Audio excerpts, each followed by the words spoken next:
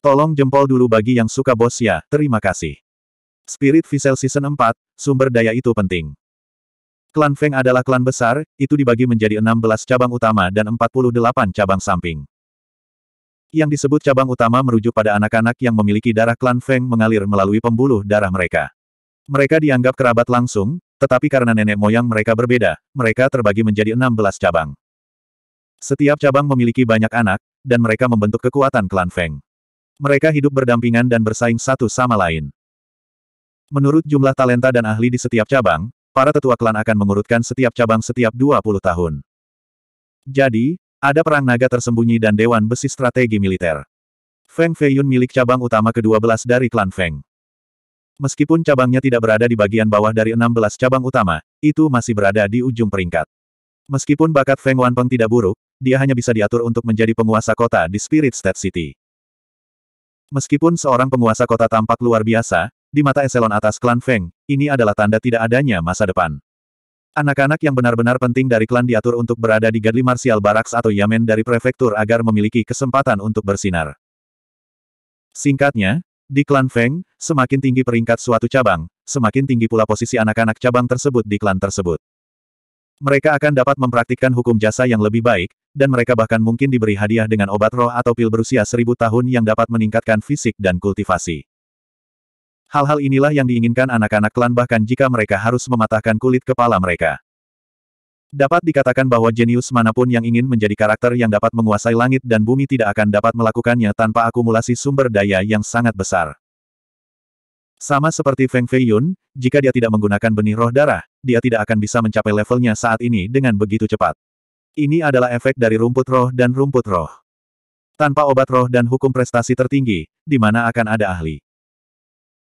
Sekarang perang naga tersembunyi dan pertemuan gulir besi strategi militer akan segera tiba, semua cabang utama sudah mulai mempertajam tinju mereka dan membuat persiapan secara rahasia. Mereka bertekad untuk menampilkan kehebatan mereka di peringkat cabang kali ini. Dan para jenius muda ini ingin menggunakan platform ini untuk memukau dunia dan mengejutkan dunia. Cabang ke-12 yang dimiliki Feng Feiyun tidak memiliki jenius yang menghancurkan bumi saat ini. Menurut perhitungan, Master Cabang, kakek buyut ke-9, akan cukup sulit untuk mempertahankan posisi ke-12. Tepat ketika kakek buyut ke-9 hendak melepaskan semua harapan, berita datang dari Spirit State City bahwa ada seorang pria dengan kecerdasan dan strategi militer yang luar biasa, Feng Feiyun. Hal ini membuat kakek buyut ke-9 merasa seolah-olah dia telah meraih sedotan penyelamat. Dia memutuskan untuk fokus melatihnya, dan dia bahkan tidak ragu menggunakan kecantikannya untuk menyemangatinya. Pernikahan antara Feng Jiansui dan Feng Feiyun juga diputuskan dengan latar belakang ini. Ini juga alasan mengapa Feng Jiansui mengatakan bahwa jika Feng Feiyun berani pergi ke kota kuno Cakrawala Valet, dia akan mematahkan kaki Feng Feiyun. Saat itu tengah hari, dan matahari yang terik menggantung tinggi di langit. Cuaca sangat suram, dan bahkan burung kukuk di pohon willow di samping jalan tampak kehilangan semangat dan mengantuk. Bam-bam. Sebuah kereta perunggu beroda delapan ditarik oleh seekor rusa gunung dengan sisik di sekujur tubuhnya saat meninggalkan gerbang kota Lingsu. Rusa gunung adalah tunggangan dewa, dan tanduknya seperti puncak yang aneh. Suara roda yang berputar cepat memecah kesunyian siang hari. Setelah mencapai jalan utama, punggung rusa gunung tiba-tiba menyala dengan bayangan jimat, dan memancarkan cahaya putih. Rusa gunung ini tingginya 4 meter, dan seluruh tubuhnya memancarkan cahaya. Dalam sekejap, kekuatannya meledak, dan kecepatannya meningkat lebih dari 10 kali lipat. Itu menarik kereta perunggu beroda delapan dengan suara gemuruh, dan dengan cepat berlari lebih dari 10 mil di luar Spirit State City, menghilang ke hutan belantara. Ini adalah jimat angin cepat, jimat peringkat pertama. Setelah dipasang di punggung rusa gunung, jimat ini dapat menempuh jarak 8.000 mil dalam sehari. Tentu saja, efek jimat angin kilat hanya dapat bertahan selama satu hari, dan kemudian akan kehabisan energi roh. Keesokan harinya, harus diganti dengan jimat yang baru. Feng Wanli, yang sedang duduk di kereta perunggu, menjelaskan kepada Feng Feiyun dan Feng Suyu. Meski jalan gunung bergelombang, kereta perunggu itu sangat stabil. Seolah-olah mereka sedang duduk di kabin kapal, dan mereka tidak merasakan getaran sedikitpun. Meskipun masih ada dua bulan sampai Perang Naga tersembunyi dan Dewan Besi Strategi Militer, pada saat ini, generasi kelima klan Feng sudah mulai berkumpul di kota kuno Cakrawala Valet. Hampir semua dari mereka akan kembali ke klan mereka terlebih dahulu untuk bersiap. Pertama, ini akan memungkinkan anak-anak yang berpartisipasi untuk memahami lawan yang kuat, dan mereka dapat mempersiapkan diri terlebih dahulu.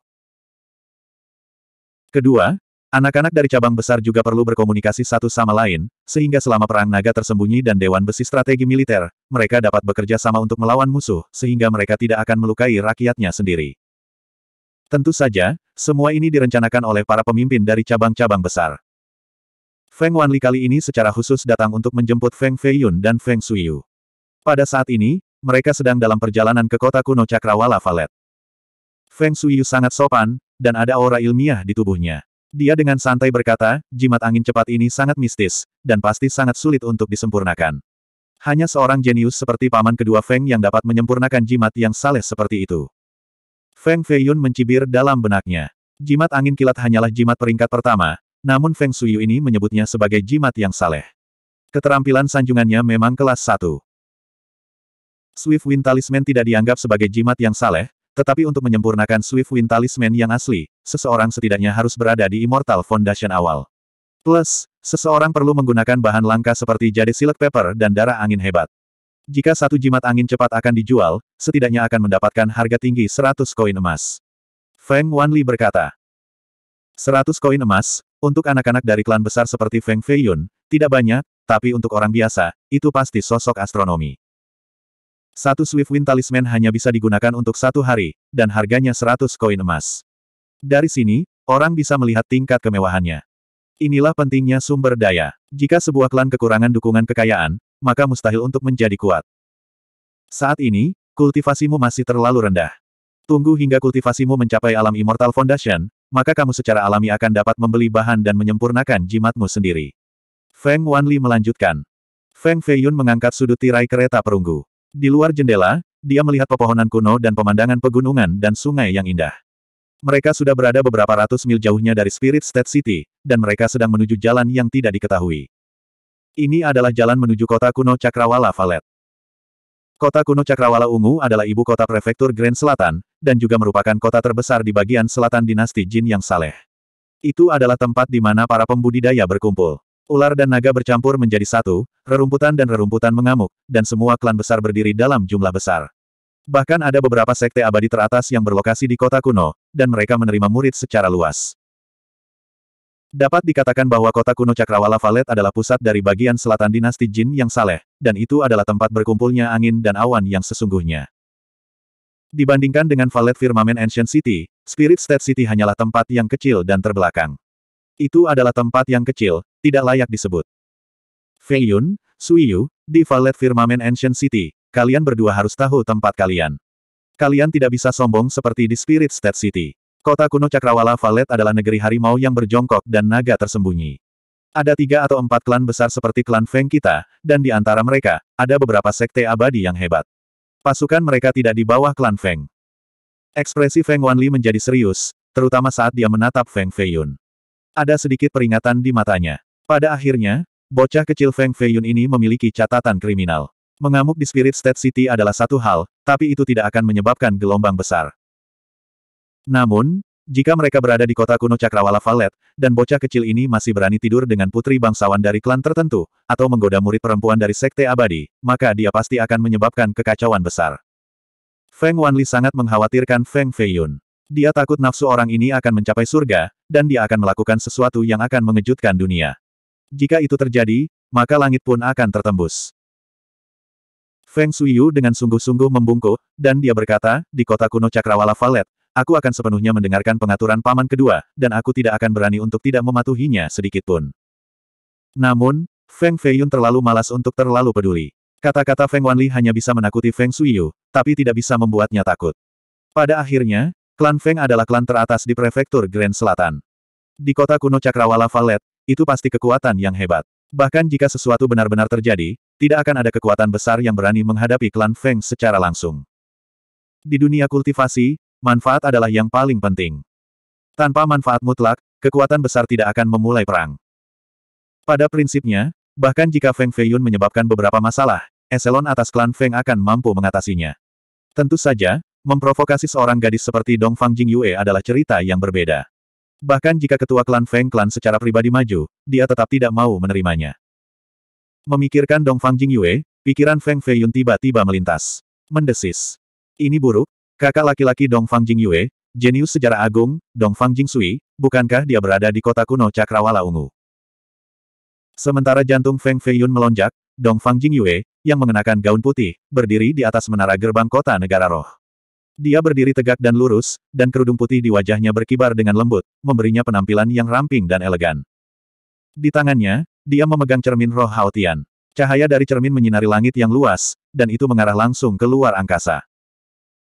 Tanpa perlindungan Grand Wisdom Master Jing Feng, Feng Feiyun, saya ingin melihat bagaimana Anda akan melarikan diri dari telapak tangan saya. Tangannya yang ramping dan lembut berbalik, dan dia menyingkirkan cermin roh Haotian. Sepasang sayap putih terbentang dari punggungnya, dan mereka menyebar. Sosok anggunnya berubah menjadi pelangi putih panjang, dan menembus langit biru, dan dia mengejar arah kereta rusa Gunung Perunggu. Bab 32 Rusa gunung yang saleh, bersama dengan dukungan jimat angin cepat, dapat melakukan perjalanan 8.000 mil per hari. Baru pada malam hari ketujuh barisan pegunungan hitam muncul di depan mereka. Pegunungan hitam ini tebal dan kuno, menghalangi pandangan orang.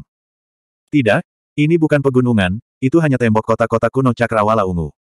Tembok kota dibangun dengan tumpukan 10.000 pon batu besar. Tingginya beberapa ratus zang dan seperti pegunungan yang berbaring. Gemuruh. Di kejauhan terdengar suara gemuruh parit yang lebar. Air melonjak, dan uapnya menguap. Itu seperti lautan awan yang sangat luas. Berdiri di satu sisi parit dan memandangi gerbang kota dari jauh, terlihat bahwa di sisi lain, tentara yang menjaga gerbang hanya sebesar semut. Mereka telah tiba di kota kuno Cakrawala Valet. Itu hanya tembok kota dan parit, tapi itu memberi orang perasaan agung. Feng Feiyun melompat turun dari kereta rusa gunung perunggu dan berdiri di tepi parit. Matanya memancarkan cahaya yang berapi-api saat dia menatap ke kejauhan.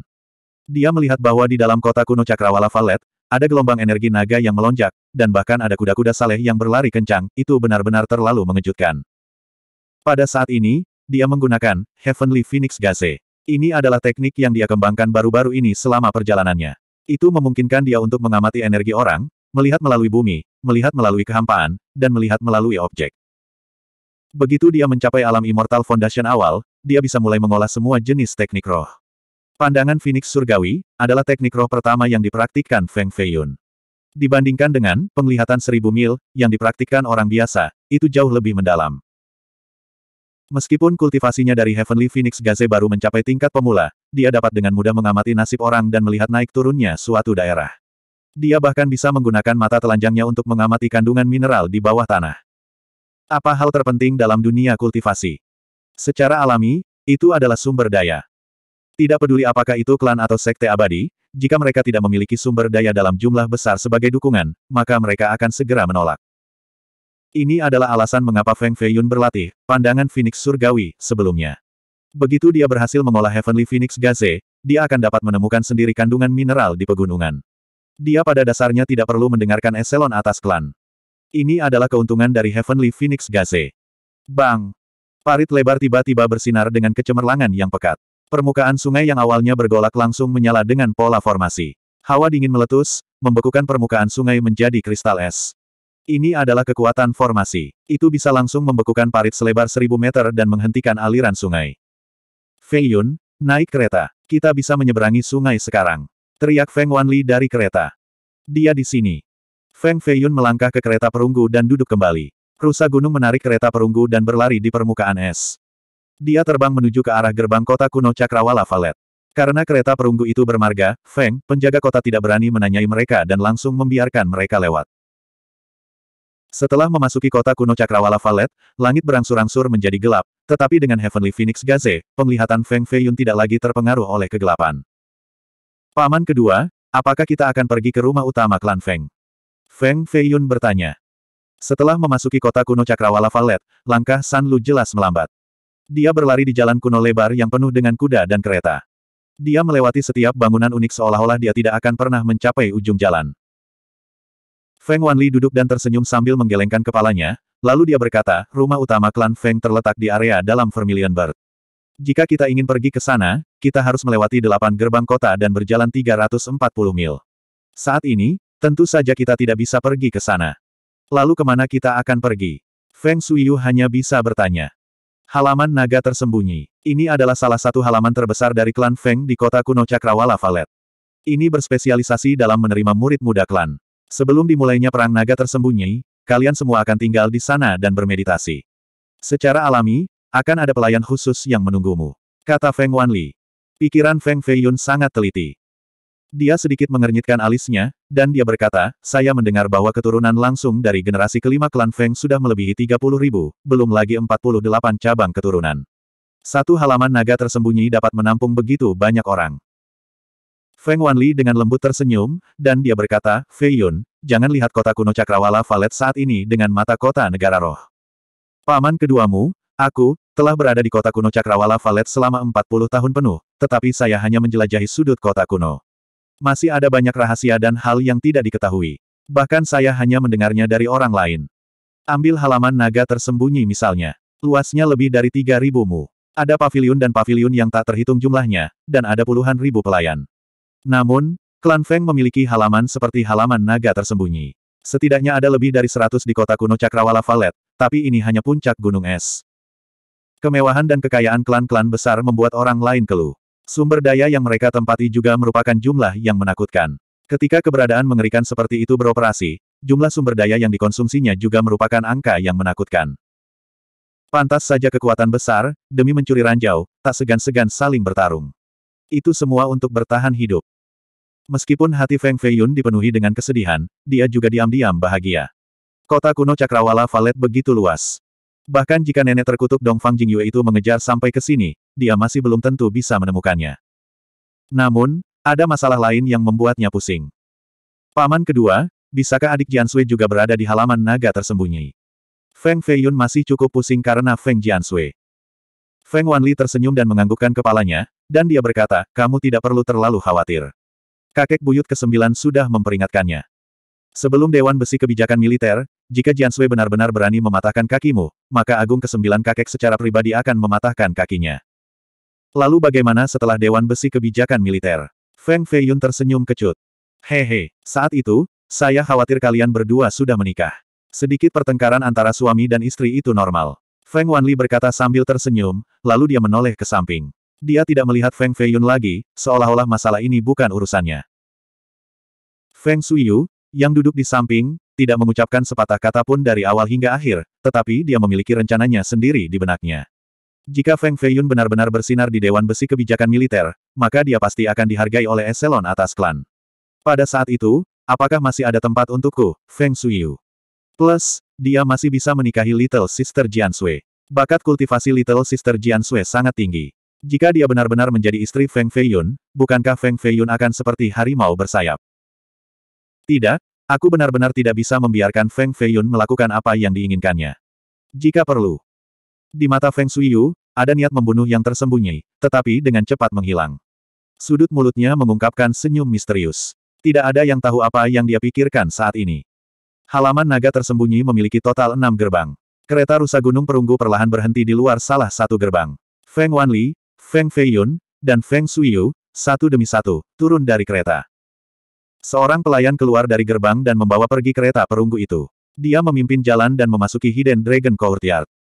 Generasi kelima murid Feng Clan mulai kembali satu demi satu. Di arena bela diri halaman naga tersembunyi, sekelilingnya diterangi dengan obor yang terbuat dari minyak. Saat ini, masih banyak anak muda yang saling bertukar pukulan. Di sebelah sebuah kolam, lebih dari sepuluh pemuda jenius yang mengenakan pakaian putih sedang duduk dalam posisi meditatif. Tubuh mereka berkedip dengan lampu roh. Setelah melihat ketiga Feng Feiyun, orang-orang ini hanya sedikit melirik mereka, lalu mereka menarik pandangan mereka dan terus berkultivasi. Sepanjang jalan kecil, setelah waktu yang tidak diketahui, mereka akhirnya tiba di depan sebuah pavilion berpernis merah. Di dalamnya, ada total lima ruangan, mereka terhubung satu sama lain, tetapi mereka juga terpisah satu sama lain. Mereka ditutupi dengan ubin kaca, dan ada pilar merah besar. Bahkan tangga batunya terbuat dari marmer putih. Ini hanya tempat tinggal paling biasa di halaman naga tersembunyi, tapi masih sangat mewah. Feng Wanli menunjuk ke kamar yang paling tepat, dan dia berkata sambil tersenyum, kamar itu adalah tempat tinggal sementara Jian Sui. Jantung Feng Feiyun melonjak, dan dia mengikuti arah jarinya. Dia melihat bahwa pintu ruangan itu tertutup, dan tidak ada satupun cahaya lilin yang keluar. Itu sangat tidak bernyawa, dan jelas bahwa Jian Sui tidak ada di dalam. Selama dia tidak segera keluar, itu baik-baik saja. Feng Feiyun menghela nafas lega. Namun, ini sudah larut malam, ke mana dia bisa pergi? Kenapa dia belum kembali? Kamar di sebelahnya adalah kamar yang khusus kusiapkan untukmu. Feng Wanli menepuk bahu Feng Feiyun, dan dia tersenyum berkata, Feiyun, manfaatkan kesempatan ini. Kalian harus memanfaatkan dua bulan ini untuk memupuk hubungan kalian. Kembangkan pantatku. Menumbuhkan hubungan dengan wanita yang kejam tidak simen memeluk babi untuk tidur. Feng Feiyun masih ingat dengan jelas bagaimana dia meninju dan mematahkan semua tulangnya. Pada saat itu, jika Feng Wanli tidak membawakannya Millennium Intermittent Grass, maka Feng Feiyun tidak akan semudah berbaring di tempat tidur selama setengah bulan. Kamu tidak perlu merasa tertekan. Temperamen Jian Sui telah jauh lebih terkendali beberapa tahun terakhir ini. Ditambah lagi, dengan perintah kakek buyut ke-9, dia tidak akan berani melumpuhkanmu. Hati Feng Wanli tidak tenang. Pada akhirnya, dia lebih memahami putri angkatnya daripada orang lain. Dia tidak memberi muka kepada siapa pun, dan dia sangat berbakat, tetapi dia juga sangat sombong. Di seluruh generasi muda klan Feng, hanya ada tiga atau lima jenius penentang surga yang menarik perhatiannya. Meskipun Feng Feiyun sakit kepala karena Feng Jiansui, dia tidak takut. Pada akhirnya, dia juga berada di Yayasan Immortal awal, dan kekuatan tempurnya sebanding dengan ahli Yayasan Immortal tingkat menengah. Kekuatannya hanya akan lebih kuat dari miliknya, jadi apa yang harus ditakuti? Paman kedua, aku akan tinggal di kamar mana? Tatapan Feng Shuiyu menatap tiga kamar yang tersisa dengan senyum tipis di wajahnya. Kamu, kamu adalah murid cabang sampingan, kamu tidak memenuhi syarat untuk tinggal di sini. Wajah Feng Wanli tidak memiliki jejak emosi. Dia berbalik dan berjalan ke arah lain sambil melambaikan tangannya, ikut aku. Tidak memenuhi syarat, Feng Shuiyu dengan erat mengepalkan tinjunya dan dengan paksa menekan ketidakpuasan di dalam hatinya. Dia dengan dingin memelototi Feng Feiyun, dan kemudian, dia dengan marah berbalik dan pergi. Feng Feiyun tersenyum melihat punggungnya saat dia pergi, dan hatinya merasa sedikit bahagia. Feng Shuiyu, kamu juga punya hari ini. Dia tidak terlalu banyak berpikir, dan dia berjalan menuju pavilion untuk menetap terlebih dahulu. Bab 33 Malam benar-benar gelap, tapi Hidden Dragon Courtyard masih terang benderang. Banyak murid muda sedang mengobrol dengan cahaya lilin, mereka berbicara tentang romansa dan kultivasi. Di kejauhan, ada suara gemuruh tak berujung yang datang dari lapangan kuda. Ada orang gila kultivasi yang berlatih seni bela diri mereka. Feng Feiyun, seorang diri, sedang duduk di atas sebuah pavilion merah. Kakinya menginjak ubin kaca, menghadap angin malam, dan matanya menatap ke kejauhan. Dia menatap seluruh Hidden Dragon Courtyard, tidak ada nasib yang bisa lolos dari matanya. Kondensasi Ki. Ledakan. Di arah tenggara halaman naga tersembunyi, bayangan raksasa harimau yang berjongkok tiba-tiba muncul dan menempati separuh langit. Itu memancarkan cahaya ungu dan merah, dan berjalan dengan ekspresi megah. Ini adalah aura, Soaring Tiger Soaring Cloud. Generasi kelima dari klan Feng benar-benar memiliki kejeniusan seperti itu. Wajah Feng Feiyun menunjukkan sedikit keterkejutan. Citra ki seseorang adalah representasi dari bakat bawaan mereka. Semakin kuat citra ki mereka, semakin tinggi bakat bawaan mereka. Meskipun gambar ki ini megah dan mendominasi, hanya mereka yang mahir dalam teknik pengamatan ki yang dapat melihatnya. Orang biasa, tidak peduli seberapa kuat kultivasi mereka, tidak akan bisa melihat apa pun. Ki adalah kekosongan. Untuk mengamati Ki, pertama-tama seseorang harus melatih mata mereka. Feng Feiyun mengolah Heavenly Phoenix Gaze. Dia tidak hanya dapat mengamati gambar Ki orang, tetapi dia juga dapat mengamati gambar Ki suatu daerah, gambar Ki dari semua makhluk hidup di dunia, dan gambar Ki dari langit yang luas. Guru kebijaksanaan yang mengamati bintang-bintang di malam hari, sebagian besar, tahu bagaimana mengamati gambar Ki. Gemuruh. Tiba-tiba, di kedalaman kota kuno Cakrawala Valet, gambar Ki yang menakutkan melonjak ke sembilan langit. Itu disertai dengan bayangan harimau dan bayangan naga, menciptakan cahaya surgawi lima warna yang mempesona. Itu sangat menyilaukan sehingga orang lain tidak bisa membuka mata mereka. Mendesis. Menggunakan gambar Ki sendiri untuk memicu gambar Ki dari bintang-bintang di langit, ini adalah Ki Naga Harimau, fisik tertinggi regal. Ada seorang jenius tak tertandingi di dalam kota kuno Cakrawala Valet. Feng Feiyun tiba-tiba berdiri tegak dan menatap langit. Ini adalah pertama kalinya dia terkejut. Siapa yang menakutkan ini? Kinaga harimau, fisik tertinggi regal. Ini adalah salah satu gambar ki teratas di dunia. Siapa pun yang dapat membawa citra ki ini pasti akan menjadi luar biasa di masa depan. Seperti bulan terang di langit, tidak ada yang bisa menghentikannya. Soaring Tiger Soaring Cloud, dan Regal Supreme Fisik, terpisah beberapa level. Melolong. Aura harimau dan naga melayang di langit selama separuh waktu yang dibutuhkan untuk meminum secangkir teh. Kemudian, perlahan menghilang ke sudut kota kuno Cakrawala Valet. Feng Feiyun awalnya ingin melihat kejeniusan luar biasa dari generasi kelima klan Feng, tetapi dia tidak menyangka kota kuno Cakrawala Valet memiliki fisik tertinggi regal. Dengan adanya kejeniusan seperti itu, semua kejeniusan lainnya di dunia akan kehilangan kemilaunya. Langkah kaki terdengar dari bawah, disertai dengan suara gemuruh. Seseorang datang. Feng Feiyun dengan cepat menarik kembali Heavenly Phoenix Gaze dan melihat ke bawah.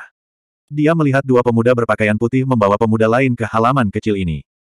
Sial, bajingan itu benar-benar menghancurkan Dantian Haozi. Basis kultivasinya pada dasarnya lumpuh. Mereka terlalu ganas.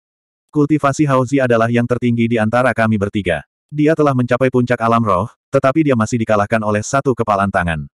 Cabang ketiga memang penuh dengan ahli.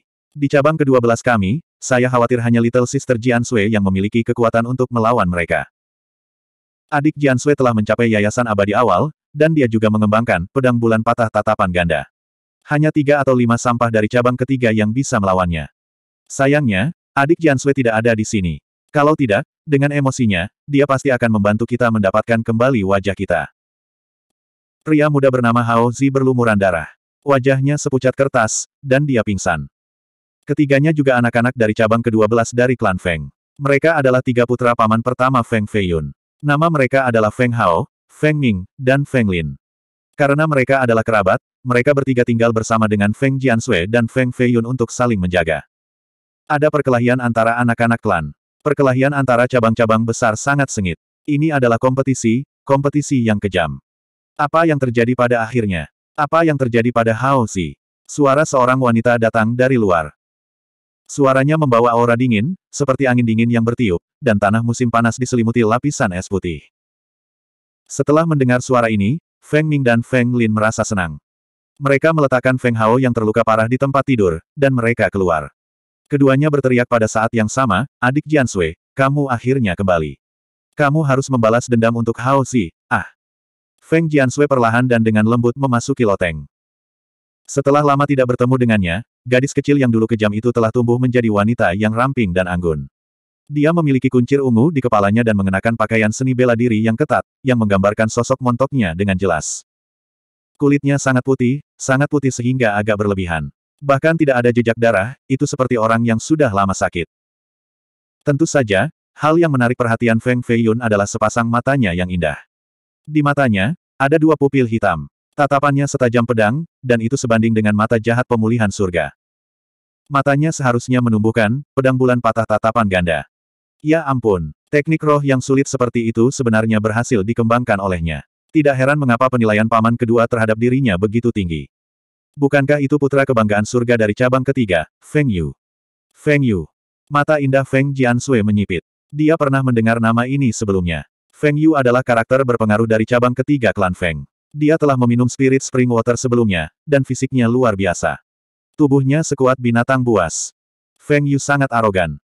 Dia mendirikan arena di bidang seni bela diri, dan dia menyatakan, hanya mereka yang dapat menahan tiga gerakan dari tanganku yang memenuhi syarat untuk berpartisipasi dalam perang naga tersembunyi. Begitu kata-kata ini keluar, itu segera menyebabkan keributan besar. Ada aliran penantang yang tak ada habisnya, tetapi sekarang, setengah bulan telah berlalu, dan tidak ada yang mampu menahan dua gerakan darinya. Hampir semuanya dirobohkan oleh satu pukulan darinya. Masalah ini telah mengkhawatirkan generasi tua klan Feng, tetapi para pakar generasi tua ini tidak peduli sama sekali. Jelas bahwa mereka diam-diam menyetujui metode Feng Yu. Menggunakan arena untuk merangsang potensi generasi muda klan, ini bukanlah hal yang buruk. Bahkan eselon atas klan Feng ingin mengubah metode perang naga tersembunyi ini. Seperti yang dikatakan Feng Yu, hanya mereka yang bisa menahan tiga gerakan darinya yang memenuhi syarat untuk berpartisipasi. Mereka yang tidak bisa menahan tiga serangan darinya hanyalah orang biasa-biasa saja, mereka bahkan tidak memiliki kualifikasi untuk berpartisipasi. Jika seseorang ingin menjadi terkenal setelah satu pertempuran, maka mereka harus menunjukkan kemampuan mereka yang sebenarnya. Feng Jiansui bertanya, Feng Hao juga menantangnya. Feng Ming dan Feng Lin menunduk tanpa mengucapkan sepatah kata pun, jelas bahwa mereka diam-diam setuju. Berapa banyak gerakan yang ditahan Feng Hao? Feng Jiansui terus bertanya. Kalah dalam satu gerakan. Feng Yu itu benar-benar orang gila. Satu serangan telapak tangan sudah cukup untuk mengubah tembok kota menjadi bubuk. Feng Hao bahkan tidak memiliki kekuatan untuk membalas, dan dia sudah terbaring dalam genangan darah. Ucap keduanya dengan marah. Mata Feng Jiansui menjadi semakin bermartabat. Dia sangat jelas tentang kekuatan Feng Hao. Bahkan jika dia menggunakan semua kekuatannya, dia masih membutuhkan tiga langkah untuk mengalahkannya. Namun, Feng Yu hanya menggunakan satu gerakan untuk menghancurkan dantiannya. Memikirkan kekuatan ini saja sudah menakutkan. Feng Yu sebenarnya sangat kuat. Jari-jari ramping Feng Jiansui dengan lembut bergesekan, dan tubuhnya dipenuhi dengan keinginan untuk bertarung. Gelombang energi roh meraung dan keluar, menyebabkan dahan dan daun pohon osmanthus, yang setebal mulut mangkuk, jatuh ke tanah. Siapa? Siapa yang ada di atap? Mata berbintang Feng Jiansui berbalik, dan pupil matanya menjadi sangat tajam. Cahaya hitam terbang keluar dari matanya seperti pedang kecil seukuran telapak tangan. Suara mendesing. Cahaya pedang hitam berbalik dan menembus langit malam. Ah! Jeritan sengsara bergema, dan bayangan berguling turun dari atap. Pria ini tampak kikuk, dan setelah berguling-guling di tanah, dia tidak bisa bangun untuk waktu yang lama. Feng Jiansui dengan cepat bergegas ke depan, dan dia melihat bahwa dia mengenakan jubah putih klan Feng, tetapi dia berbaring di tanah tanpa bergerak. Hatinya tidak bisa membantu tetapi gemetar. Tidak baik, itu salah satu dari kita, mungkinkah dia sudah mati? Feng Jiansui juga ketakutan. Pada akhirnya, meskipun generasi yang lebih tua dari klan Feng mengizinkan anak-anak mereka untuk bertarung satu sama lain, premisnya adalah mereka tidak saling membunuh. Hati perawan Feng Jiansui berantakan. Dia mengangkat pedang di tangannya, dan dia dengan lembut menyentuh sudut pakaian anak klan Feng yang tergeletak di tanah. Namun, orang lain itu masih tidak bergerak, dan bahkan suara nafasnya tidak terdengar. Adik Jiansui, kamu membunuh seseorang. Feng Lin sangat ketakutan sehingga dia mundur dua langkah, dan dia hampir jatuh ke tanah. Kekuatan pedang bulan patah murid ganda begitu hebat, adik Jiansui, bagaimana kamu bisa menggunakannya dengan santai? Feng Ming juga ketakutan, dan tangannya terus gemetar. Pada saat ini, Feng Jiansui dipenuhi dengan penyesalan. Jika dia secara tidak sengaja membunuh seorang anak dari klan, maka dia harus membayar dengan nyawanya. Sebelum ada yang tahu, aku akan menguburnya. Feng Jiansui dengan cepat menenangkan pikirannya, dan dia memutuskan untuk menggali lubang untuk mengubur tubuhnya. Namun, pada saat ini, Anak Feng Clan yang tergeletak di tanah tiba-tiba bergerak, dan dia dengan lemah berkata, selamatkan. Selamatkan aku, aku akan mati. Mengapa suara ini begitu akrab? Feng Jiansui menatap anak Feng Clan yang setengah mati di tanah. Semakin dia melihat, semakin dia merasa akrab. Tiba-tiba, matanya yang indah menggigil, dan dia mengingat seseorang di benaknya. Dia mengutuk dalam hatinya, mungkinkah bajingan Feng Feiyun itu? Mungkinkah dia dibawa ke Hidden Dragon Courtyard? Anak klan Feng di tanah masih mengerang, sepertinya dia hanya memiliki setengah dari hidupnya yang tersisa. Bab 34. Selamatkan aku. Ah, aku, aku akan mati. Seluruh tubuh anak Feng itu gemetar dengan ekspresi kesakitan. Dia berjuang untuk menjangkau dengan satu tangan seolah ingin meraih sesuatu, tetapi dia tidak bisa meraih apa pun. Feng Ming dan Feng Lin buru-buru bergegas maju dan membantunya. Adik Jian Sui, dia belum mati. Keduanya sangat gembira. Feng Jiansui dengan hati-hati menatap anak Feng yang baru saja diangkat. Setelah melihat wajah familiarnya, ekspresinya langsung berubah. Dia mengertakkan gigi dan dengan keras berkata, ini benar-benar Feng Feiyun, bajingan. Hidupmu sangat sulit. Alangkah baiknya jika kamu mati ya. Kematian akan menjadi akhir dari semua masalah. Wajah Feng Feiyun pucat, dan napasnya lemah. Mulutnya terus-menerus batuk. Jika Feng Ming dan Feng Lin tidak mendukungnya, dia bahkan tidak akan memiliki kekuatan untuk berdiri. Aku akan mati, Aku merasa, kekuatan hidupku mengalir. Segala sesuatu di depanku hitam, seolah-olah. Seolah-olah aku melihat yaksa yang ganas datang untuk mengunci jiwaku. Mata Feng Feiyun kabur. Kedua tangannya terulur ke depan seolah ingin menyentuh sesuatu. Dia seperti orang yang sekarat mengingat tahun-tahun gemilang yang telah hilang darinya, ingin meraih penyesalan terakhir. Kamu tidak melihat yaksa, itu aku. Feng Jiansui dengan marah memelototinya, tetapi ketika dia melihat bahwa dia batuk darah dan matanya dipenuhi warna kematian, ada sedikit penyesalan di hatinya. Dia tidak bisa tidak mengingat saat mereka berdua bermain bersama. Saat itu, keduanya benar-benar riang. Tapi saat ini, dia tidak sengaja melukainya.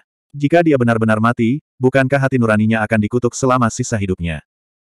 Dia bukan lagi Feng Feiyun yang tidak bersalah dari sebelumnya. Dia hanya seorang tuan muda yang kejam, tidak bermoral, dan bejat. Bahkan kematian tidak dapat menghapus kejahatannya. Kebencian Feng Jiansui padanya mencapai puncaknya. Satu tahun yang lalu, dia secara pribadi melihat Feng Feiyun memperkosa seorang gadis pelayan. Dia sudah kehilangan semua harapan terhadapnya. Dia bersumpah dalam hatinya bahwa jika dia melihatnya lagi, dia akan mematahkan semua tulang di tubuhnya sehingga dia tidak akan pernah bisa bangun dari tempat tidur selama sisa hidupnya. Tetapi pada saat ini, Feng Feiyun berdiri di depannya lagi, tetapi dia sudah diambang kematian. Dia mengepalkan tinjunya dengan erat, tetapi tidak peduli seberapa keras dia mencoba, dia tidak bisa memaksa dirinya untuk memukulnya.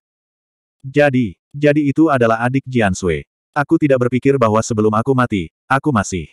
Dapat melihatmu untuk terakhir kalinya. Ini adalah surga yang mengasihaniku, Feng Feiyun. Feng Feiyun tidak tahu dari mana kekuatannya berasal, tetapi dia melarikan diri dari tangan saudara-saudara Feng. Dengan ekspresi gembira, dia bergegas menuju Feng Jiansui. Namun, karena lukanya terlalu berat, dia hanya mengambil dua langkah sebelum kakinya menjadi lemah dan jatuh ke tanah. Bu Ho, dia benar-benar berbaring di tanah dan mulai menangis. Hati dan paru-parunya tercabik-cabik saat dia terisak, Jiansui. Adik Jiansui, aku tahu. Aku, aku hanya menyalahkan diriku sendiri. Aku, aku bersalah atas banyak kejahatan. Kamu, kamu sudah lama ingin membunuhku. Waktu untuk bisa mati di tanganmu. Aku tidak menyesal. Tapi, tapi ada beberapa kata yang harus aku. Aku katakan padamu sebelum aku mati. Jika tidak, jika tidak, aku tidak akan bisa mati dengan tenang. Feng Jiansui menatap Feng Feiyun, yang sedang berbaring di tanah. Sepasang matanya yang indah berkedip dengan sedikit air mata. Kakinya sedikit bergerak, tetapi pada akhirnya, dia tidak melangkah maju untuk mendukungnya. Giginya dengan erat menggigit ujung lidahnya, dan dia mencoba menoleh agar dia tidak melihatnya lagi. Aku, sangat, sangat merindukanmu. Jian Sui, Jian Sui, aku ingin, aku ingin kembali ke masa lalu. Saat itu, kami sedang bermain rumah. Anda adalah pengantin wanita, dan saya adalah pengantin pria. Saksinya adalah anjing kuning besar di jalan. Wajah Feng Feiyun penuh dengan air mata, dan suaranya menjadi semakin lemah sampai hampir tidak ada suara sama sekali. Mata Feng Jiansui sudah berlinang air mata. Pada saat ini, dia tidak bisa menahan mereka lagi, dan mereka mengalir di sepanjang kelopak matanya. Feng Feiyun, kamu tidak bisa mati. Aku tidak akan membiarkanmu mati. Hati Feng Jiansui sangat sakit, seperti ribuan jarum menusuknya. Dia dengan cepat mengangkat Feng Feiyun dari tanah, dan dia memegang kepalanya di dadanya. Feng Feiyun tidak bergerak, dan tubuhnya menjadi lebih dingin. Itu semua salahku. Kamu seharusnya tahu bahwa meskipun kamu berdiri di depanku, aku tidak akan bisa membunuhmu. Kenapa kamu harus mengatakan kata-kata itu untuk menyiksaku? Feng Jiansui dengan erat memeluk mayat Feng Feiyun, dan rambutnya basah oleh air mata. Adik Jiansui, orang mati tidak bisa hidup kembali. Tahan kesedihanmu dan terima takdir. Feng Ming memberinya sapu tangan putih. Itu benar, karena yang meninggal adalah adik sepupu Feiyun, maka mudah untuk mengatakannya. Sepupu muda Fei Yun tidak berkultivasi, dan tubuhnya lemah. Saat itu, kami hanya dapat mengatakan bahwa dia tidak sengaja jatuh dari atap dan bunuh diri. Kemudian, adik Jian Sui, Anda tidak perlu memikul tanggung jawab apa pun. Kata Feng Lin. Feng Jian Sui mengangkat kepalanya, dan dia memelototinya, dan dia segera menelan kata-kata yang akan dia ucapkan. Nyawa untuk nyawa adalah hukum langit dan bumi. Saya pasti akan membawa mayat Fei Yun kembali ke Spirit State City, dan saya akan memikul semua tanggung jawab. Jika paman ingin aku membayar dengan nyawaku, maka aku akan menggorok leherku sendiri di kuburan Fei Yun. Wajah Feng Jiansui dipenuhi dengan kesedihan, dan hatinya tiba-tiba terasa sedikit kosong. Uhuk-uhuk, aku, kenapa aku belum mati? Ketika semua orang mengira Feng Fei Yun sudah mati, orang ini mengeluarkan dua suap darah lagi. Wajahnya tiba-tiba memiliki warna, dan seolah-olah dia hidup kembali. Bahkan Feng Jiansui terkejut, dan dia dengan cepat melepaskan Feng Fei Yun, dan dia mundur dua langkah. Ledakan. Kepala Feng Feiyun jatuh ke tanah, dan kepalanya langsung membentur batu biru. Akan lebih baik jika dia tidak memukulnya, tapi pukulan ini benar-benar membangunkannya sedikit. Dia menggosok dahinya, dan dia berjuang untuk merangkak naik dari tanah.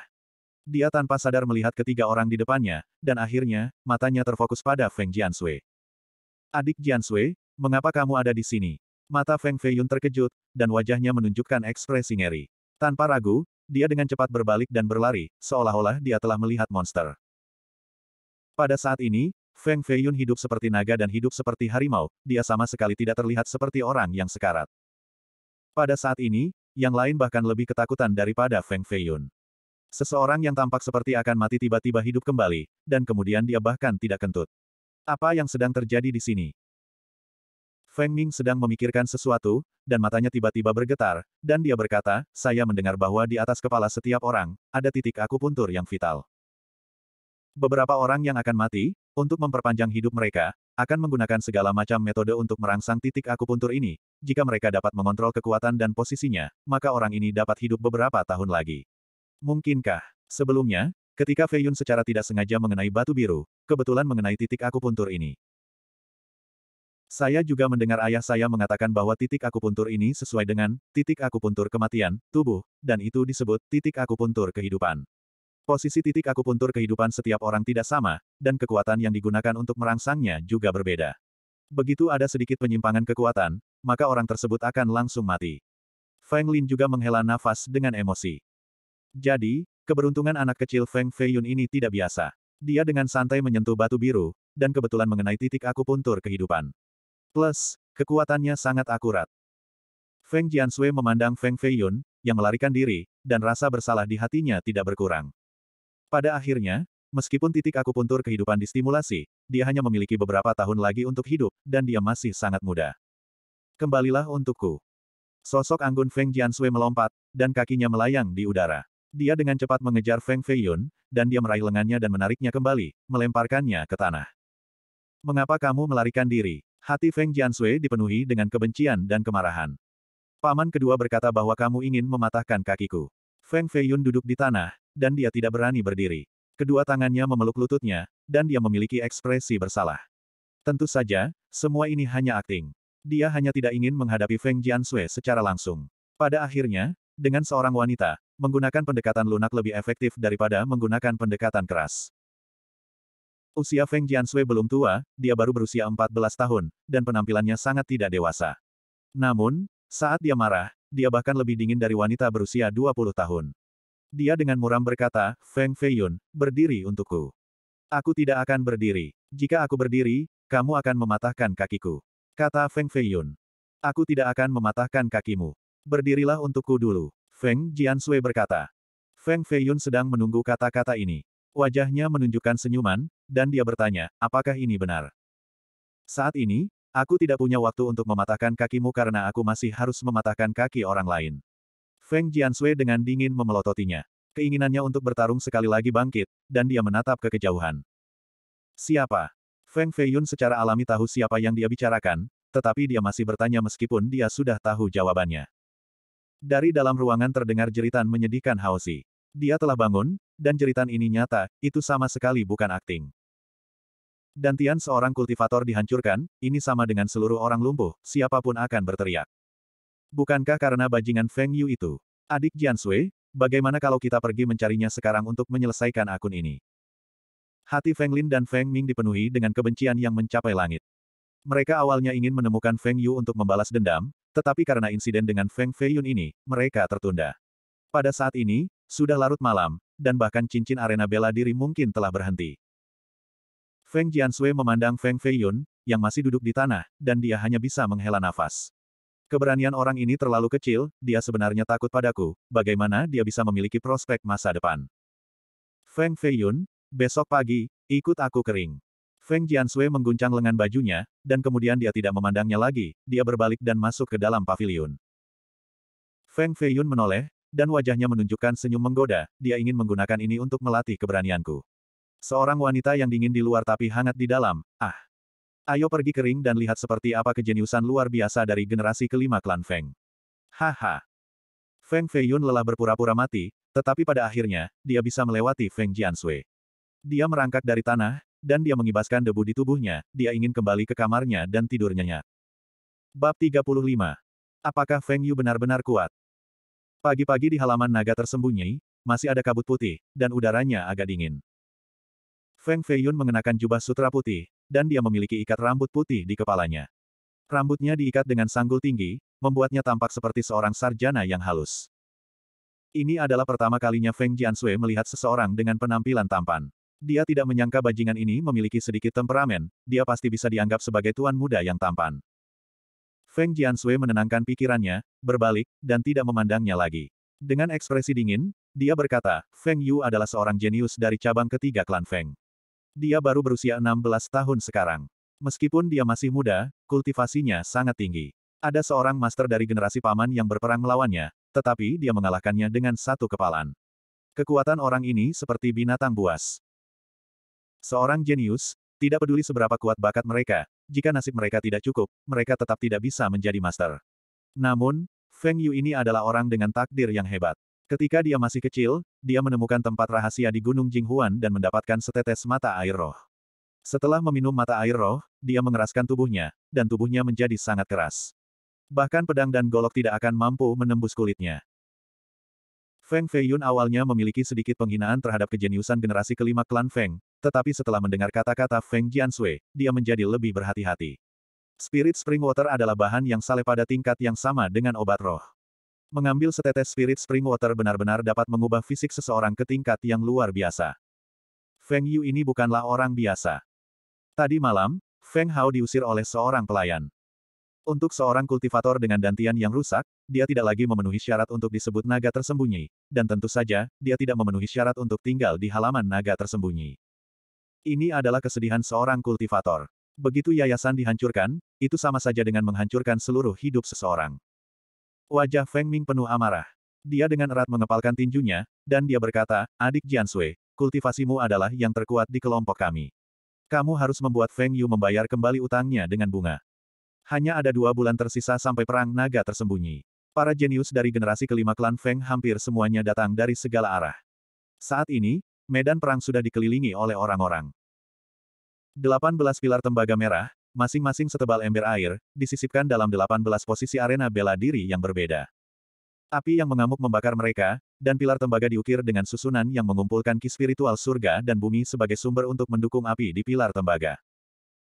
Masing-masing dari 18 pilar perunggu ini tingginya lebih dari 100 zang dan beratnya lebih dari 100 ribu jin.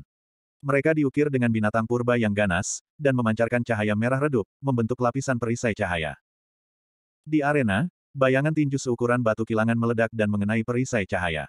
Namun, itu hanya menimbulkan beberapa riak dan tidak menghancurkan perisai cahaya. Ledakan.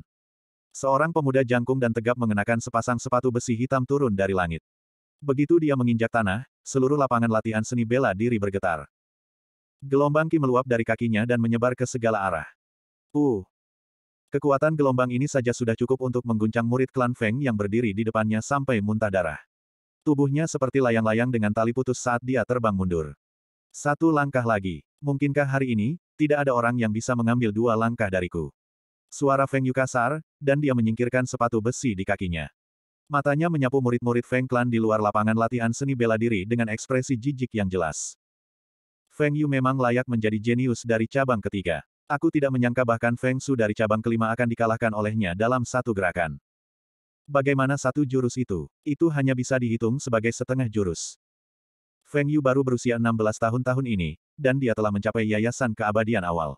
Dia telah mengembangkan kekuatan kilin. Bahkan di dalam generasi yang lebih tua, mereka yang dapat bersaing dengannya dapat dihitung dengan satu jari. Aku mendengar bahwa Master Klan diam-diam menginstruksikan bahwa perang naga tersembunyi hari ini akan menjadi pertempuran para elit. Hanya mereka yang dapat mengambil tiga langkah dari Feng Yu di atas panggung akan memenuhi syarat untuk disebut naga tersembunyi. Kultivasi Feng Yu terlalu abnormal. Belum lagi mengambil tiga jurus darinya, sangat sedikit orang di generasi kelima klan Feng yang dapat mengambil satu jurus darinya. Saat semua orang berdiskusi, mulut mereka mengeluarkan suara klik. Jelas bahwa kekuatan tirani Feng Yu telah membuat mereka takut.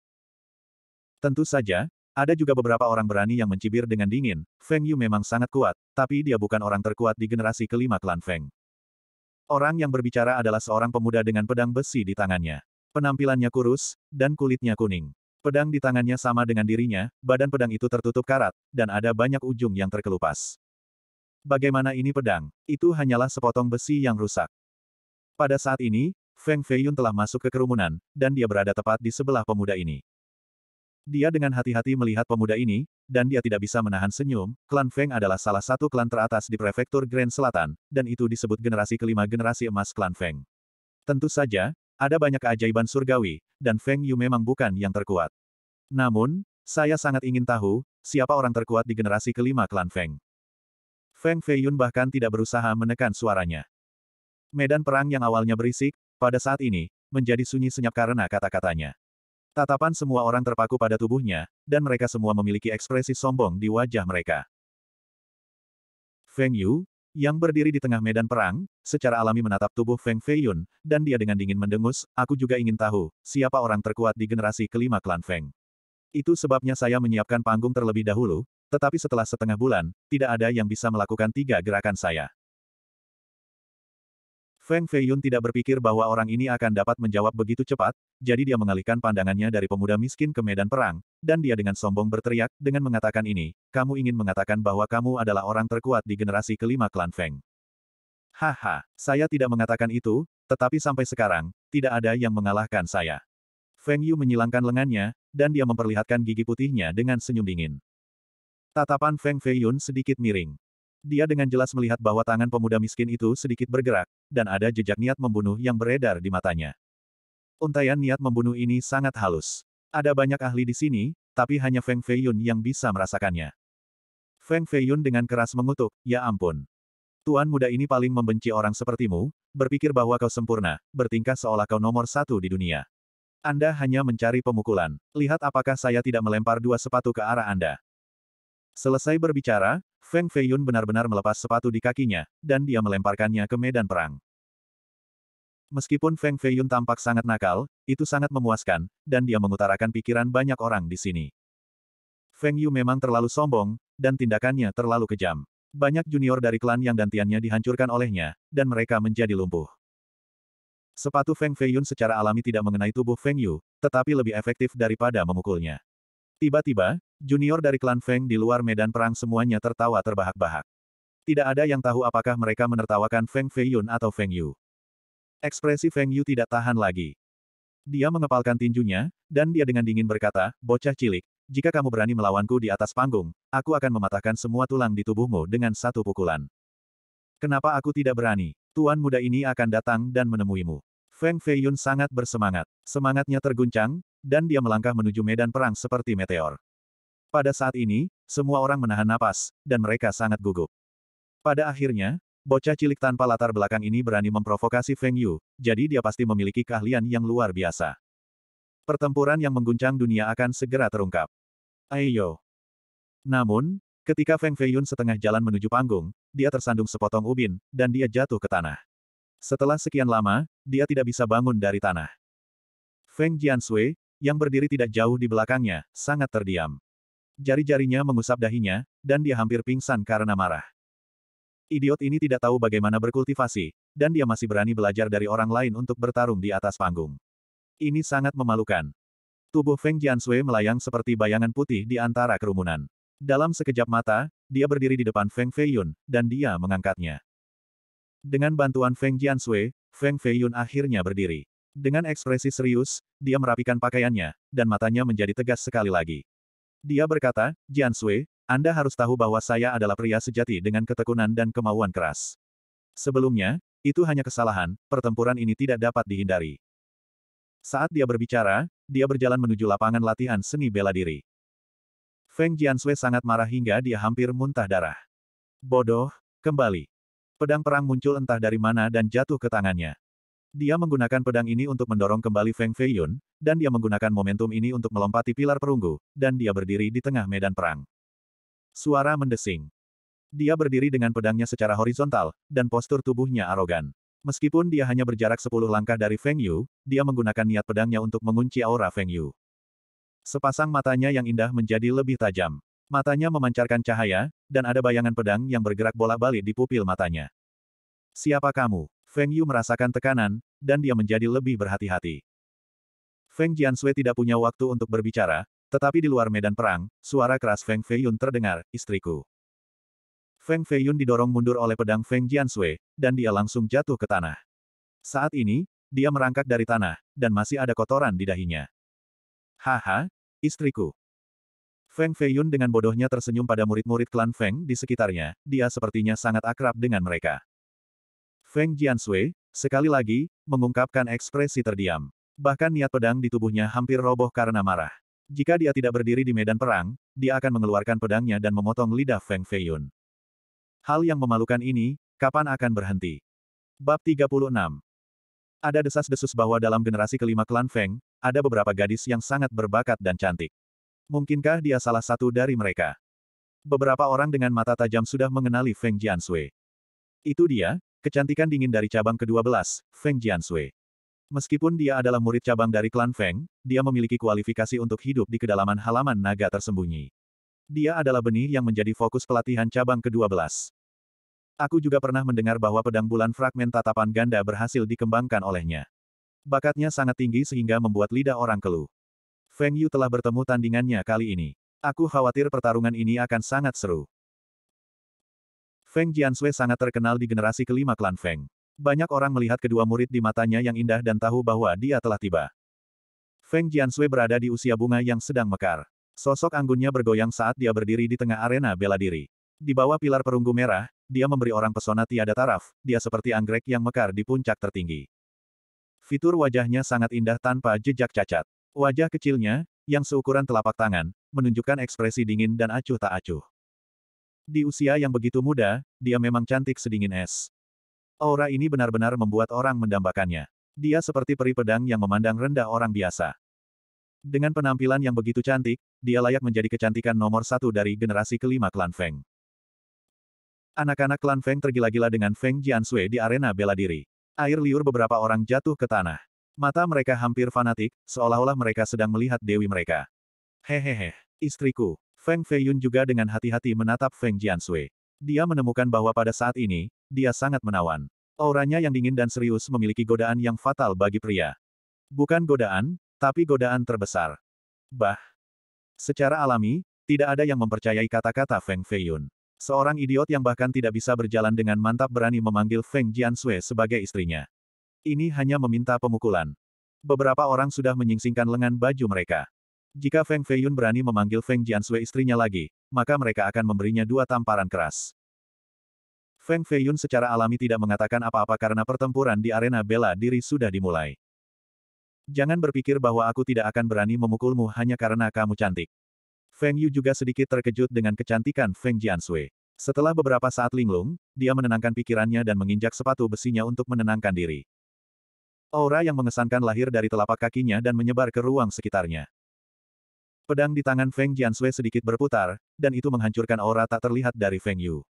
Mata berbintangnya menjadi dingin saat dia berkata, hari ini, aku membalaskan dendam Feng Hao. Kamu menghancurkan dantiannya, jadi aku akan memotong salah satu lenganmu. Anda, haha, dia hanya seorang gadis dari cabang samping klan Feng. Dia cukup cantik, kenapa kau tidak menikah denganku? Selama kamu menemaniku ke kamar pengantin, apalagi membiarkanmu memotong lenganku, bahkan jika kamu menginginkan kepalaku, aku tetap rela. Para murid dari klan Feng tertawa terbahak-bahak. Feng Yu telah melihat banyak wanita cantik, tetapi tidak ada yang secantik Feng Jiansui, jadi dia tidak bisa tidak ingin menggodanya. Di luar arena bela diri, Feng Feiyun menggosok telapak tangannya dan berteriak, dia berani menggoda istriku. Istri, pukul dia untukku. Kata-kata Feng Feiyun tenggelam oleh tawa orang banyak. Pada dasarnya, tidak banyak orang yang mendengarnya, tetapi pemuda miskin yang berdiri di sampingnya mendengarnya.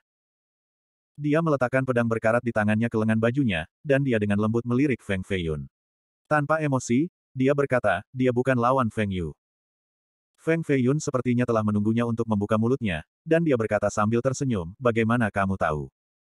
Pria muda yang miskin itu sepertinya tidak suka berbicara. Dia terdiam untuk waktu yang lama, dan setelah beberapa saat, dia perlahan berkata, dia paling banyak dapat menerima 10 jurus dari Feng Yu.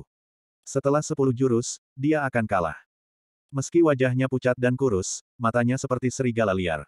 Tatapannya bahkan lebih tajam dari pedang tatapan ganda Feng Jiansui. Feng Feiyun melanjutkan, untuk dapat menerima 10 jurus dari Feng Yu sudah cukup menakjubkan. Di generasi kelima klan Feng, tidak ada 20 talenta luar biasa seperti itu. Huff. Pemuda miskin itu, untuk pertama kalinya, memalingkan wajahnya. Dia dengan dingin memelototi Feng Feiyun, dan dia berkata, apakah kamu tidak takut istrimu akan dipukuli sampai mati oleh orang lain? Atau dia sama sekali bukan istrimu? Matanya sangat akurat, dan mereka mampu melihat menembus hati orang. Hehe, saya tidak khawatir apakah dia akan dipukuli sampai mati atau tidak, dan saya bahkan tidak terlalu khawatir apakah dia istri saya atau bukan. Feng Feiyun tersenyum, dan dia memelototinya, dan dia berkata, sejujurnya, dibandingkan dengan istriku, aku lebih tertarik padamu. Kata-kata Feng Feiyun adalah kebenaran.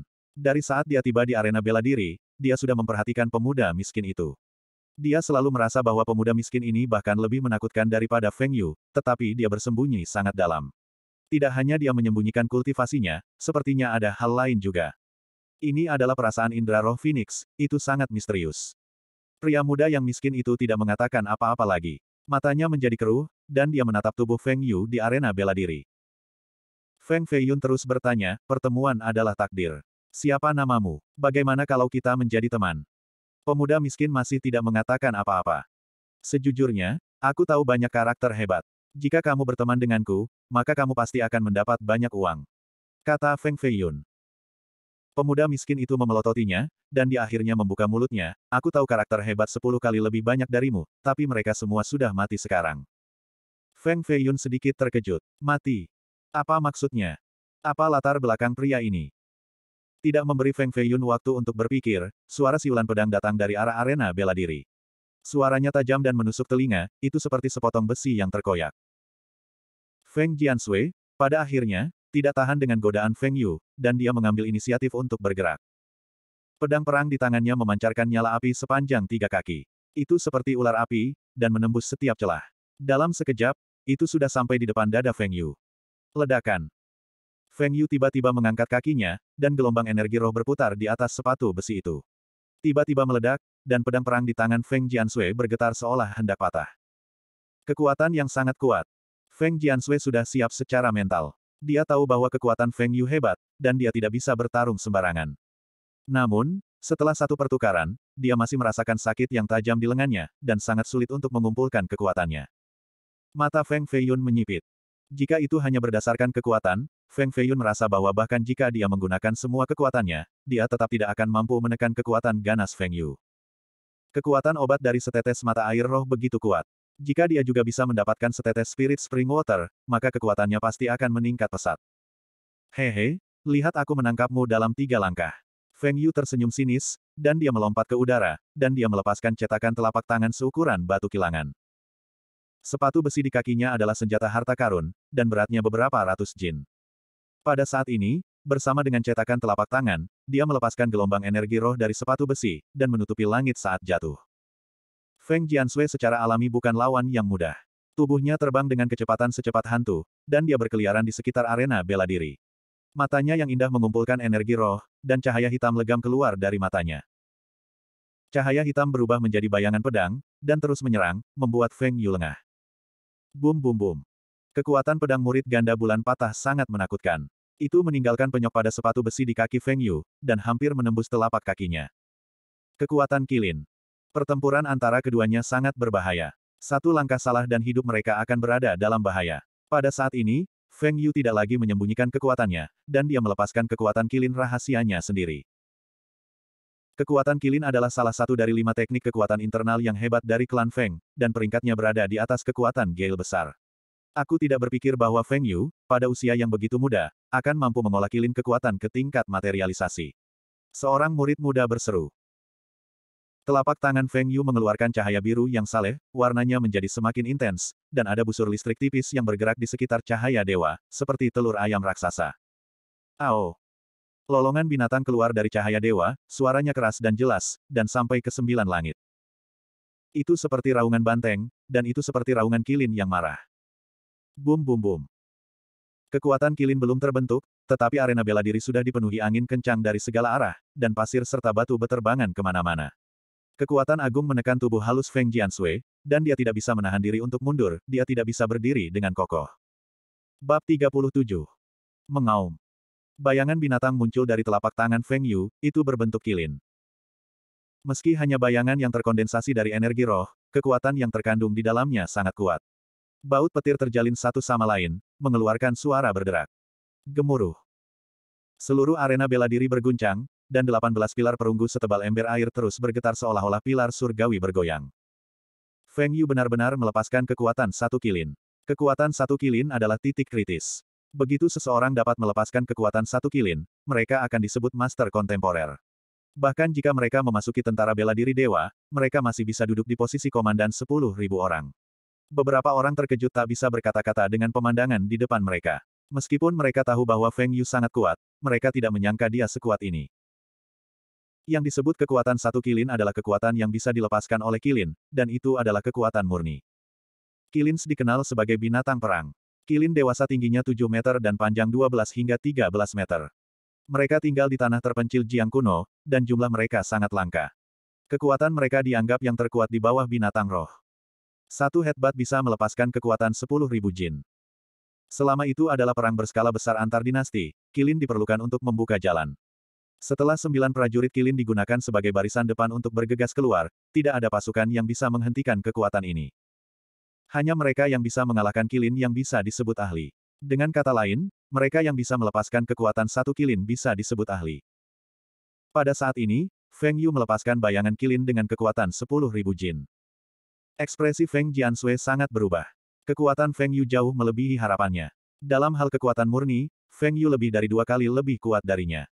Paling tidak, dia tidak bisa melepaskan kekuatan satu kilin saat ini. Ledakan.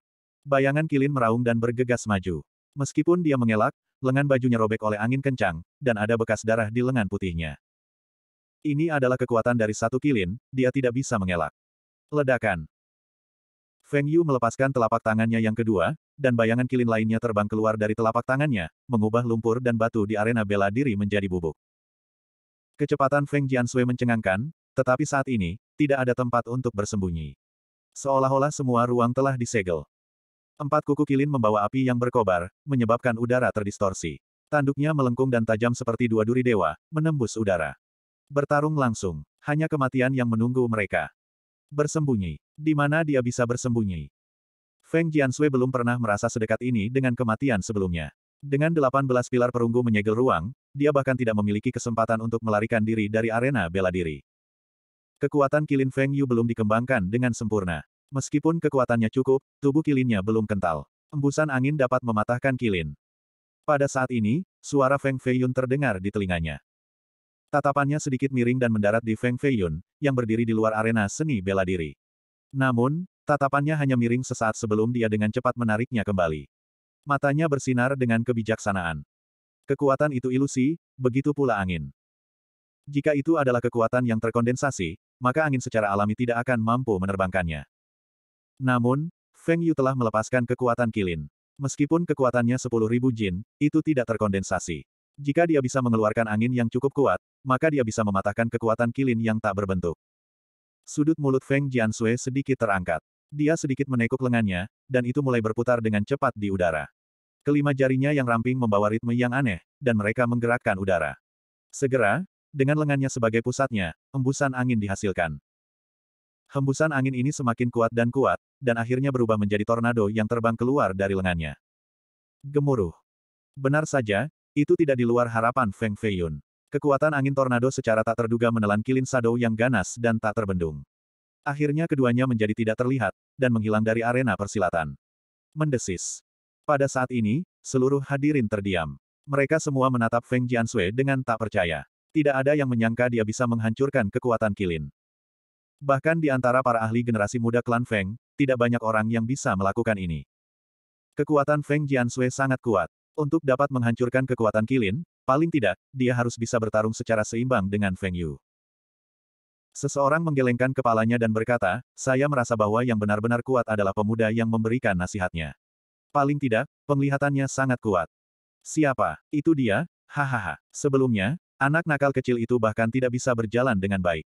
Saya khawatir dia hanya menebak-nebak. Sebelumnya, dia memanggil Feng Jiansui, istri. Mungkin dia benar-benar memiliki beberapa keterampilan nyata.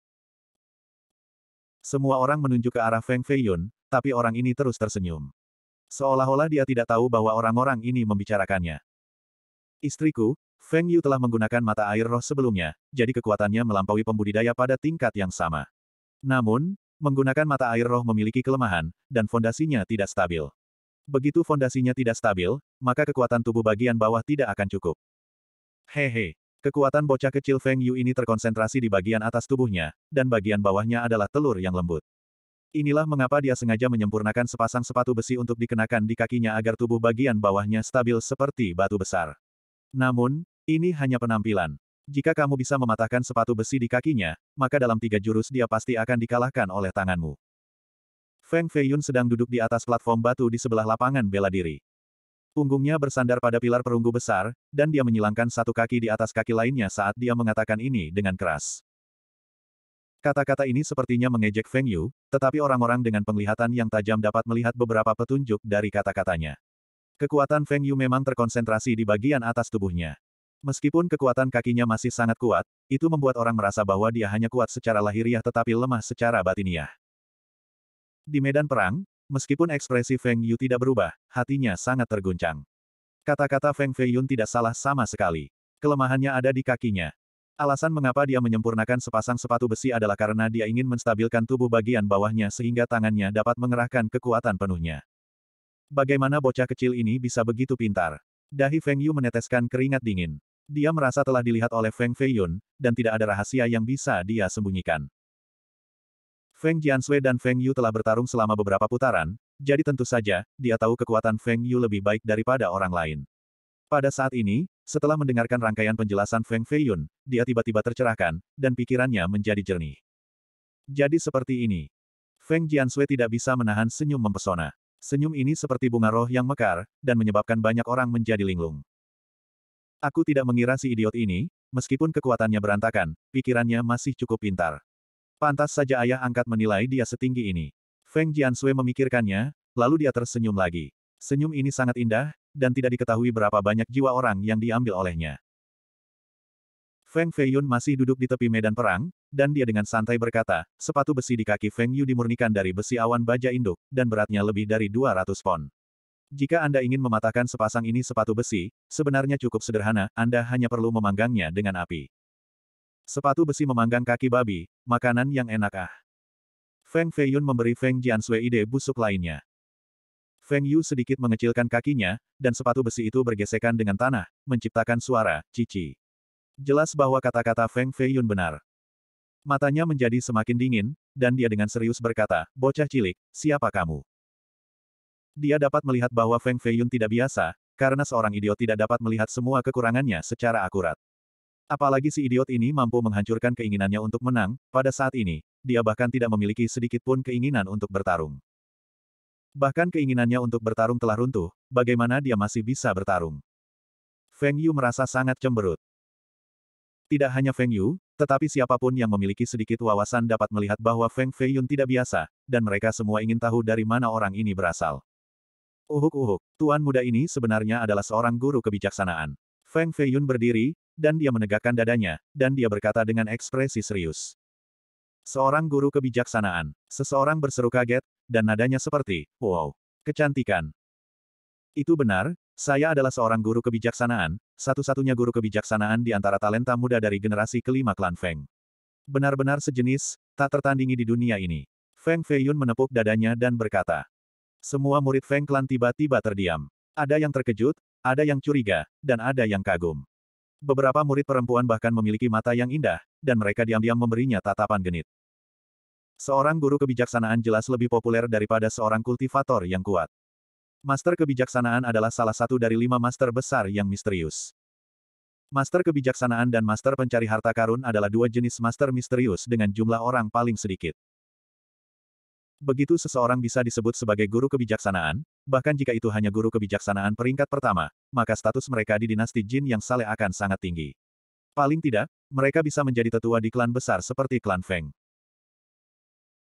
Misalnya, Klan Feng adalah kekuatan tingkat penguasa di prefektur Grand Selatan, tetapi di seluruh klan, hanya ada tiga guru kebijaksanaan, dan semuanya adalah orang tua yang telah hidup selama hampir seratus tahun. Seorang guru kebijaksanaan menggunakan kebijaksanaan sebagai guru, dan itu membutuhkan akumulasi waktu dan pengetahuan. Tanpa pengalaman puluhan tahun, atau bahkan ratusan tahun, tidak mungkin menjadi seorang guru kebijaksanaan. Bukan karena tidak ada guru kebijaksanaan di masa remaja mereka, tetapi mereka sama langkahnya dengan bulu burung phoenix dan tanduk unicorn. Di seluruh dinasti jin yang saleh, untuk dapat menemukan satu atau dua dari mereka sudah sangat bagus. Bab 38 Jika orang ini benar-benar seorang guru kebijaksanaan, maka tidak aneh baginya untuk dapat melihat kelemahan kultivasi Feng Yu. Namun, ada orang yang tidak mempercayai kata-kata Feng Feiyun. Pada akhirnya, jika generasi kelima klan Feng benar-benar memiliki guru kebijaksanaan, maka itu akan mengejutkan seluruh prefektur Grand Selatan. Tidak mungkin orang-orang di sini tidak mengetahuinya. Jadi, seseorang berseru, jika Anda adalah seorang guru kebijaksanaan, apakah Anda memiliki perintah besi guru kebijaksanaan yang dikeluarkan oleh Pagoda Wan Xiang? Tatanan besi Wisdom Master. Apa itu? Feng Feiyun belum pernah mendengar hal ini sebelumnya. Ini juga pertama kalinya dia mendengar tentang Pagoda Wan Xiang. Feng Yu dengan dingin mencibir, kamu bahkan tidak tahu apa itu perintah besi guru kebijaksanaan, namun kamu masih berani menyebut dirimu seorang guru kebijaksanaan. Kamu hanya meniup kulit sapimu sendiri. Status lima Master Misterius Agung itu terhormat, dan mereka memiliki posisi luar biasa di dunia kultivasi. Namun, untuk menjadi Master Misterius sejati, seseorang harus mendapatkan persetujuan dari Pagoda Wan Xiang. Hanya dengan mendapatkan Iron Order dari Pagoda Wan Xiang seseorang dapat benar-benar disebut Master Misterius. Master kebijaksanaan memiliki, tatanan besi master kebijaksanaan, master pencari harta karun memiliki, tatanan besi master pencari harta karun, master pandai besi memiliki, tatanan besi master pandai besi, penjinak binatang memiliki, tatanan besi penjinak binatang, dan pil master memiliki, perintah besi pil master. Iron Order dari lima Grand Master misterius adalah representasi dari status mereka. Selama seseorang memiliki pesanan besi, maka ke mana pun mereka pergi, mereka akan disambut sebagai tamu terhormat. Jika seseorang tidak memiliki tatanan besi, bahkan jika kebijaksanaannya mencapai surga, mereka tetap tidak akan dianggap sebagai guru kebijaksanaan.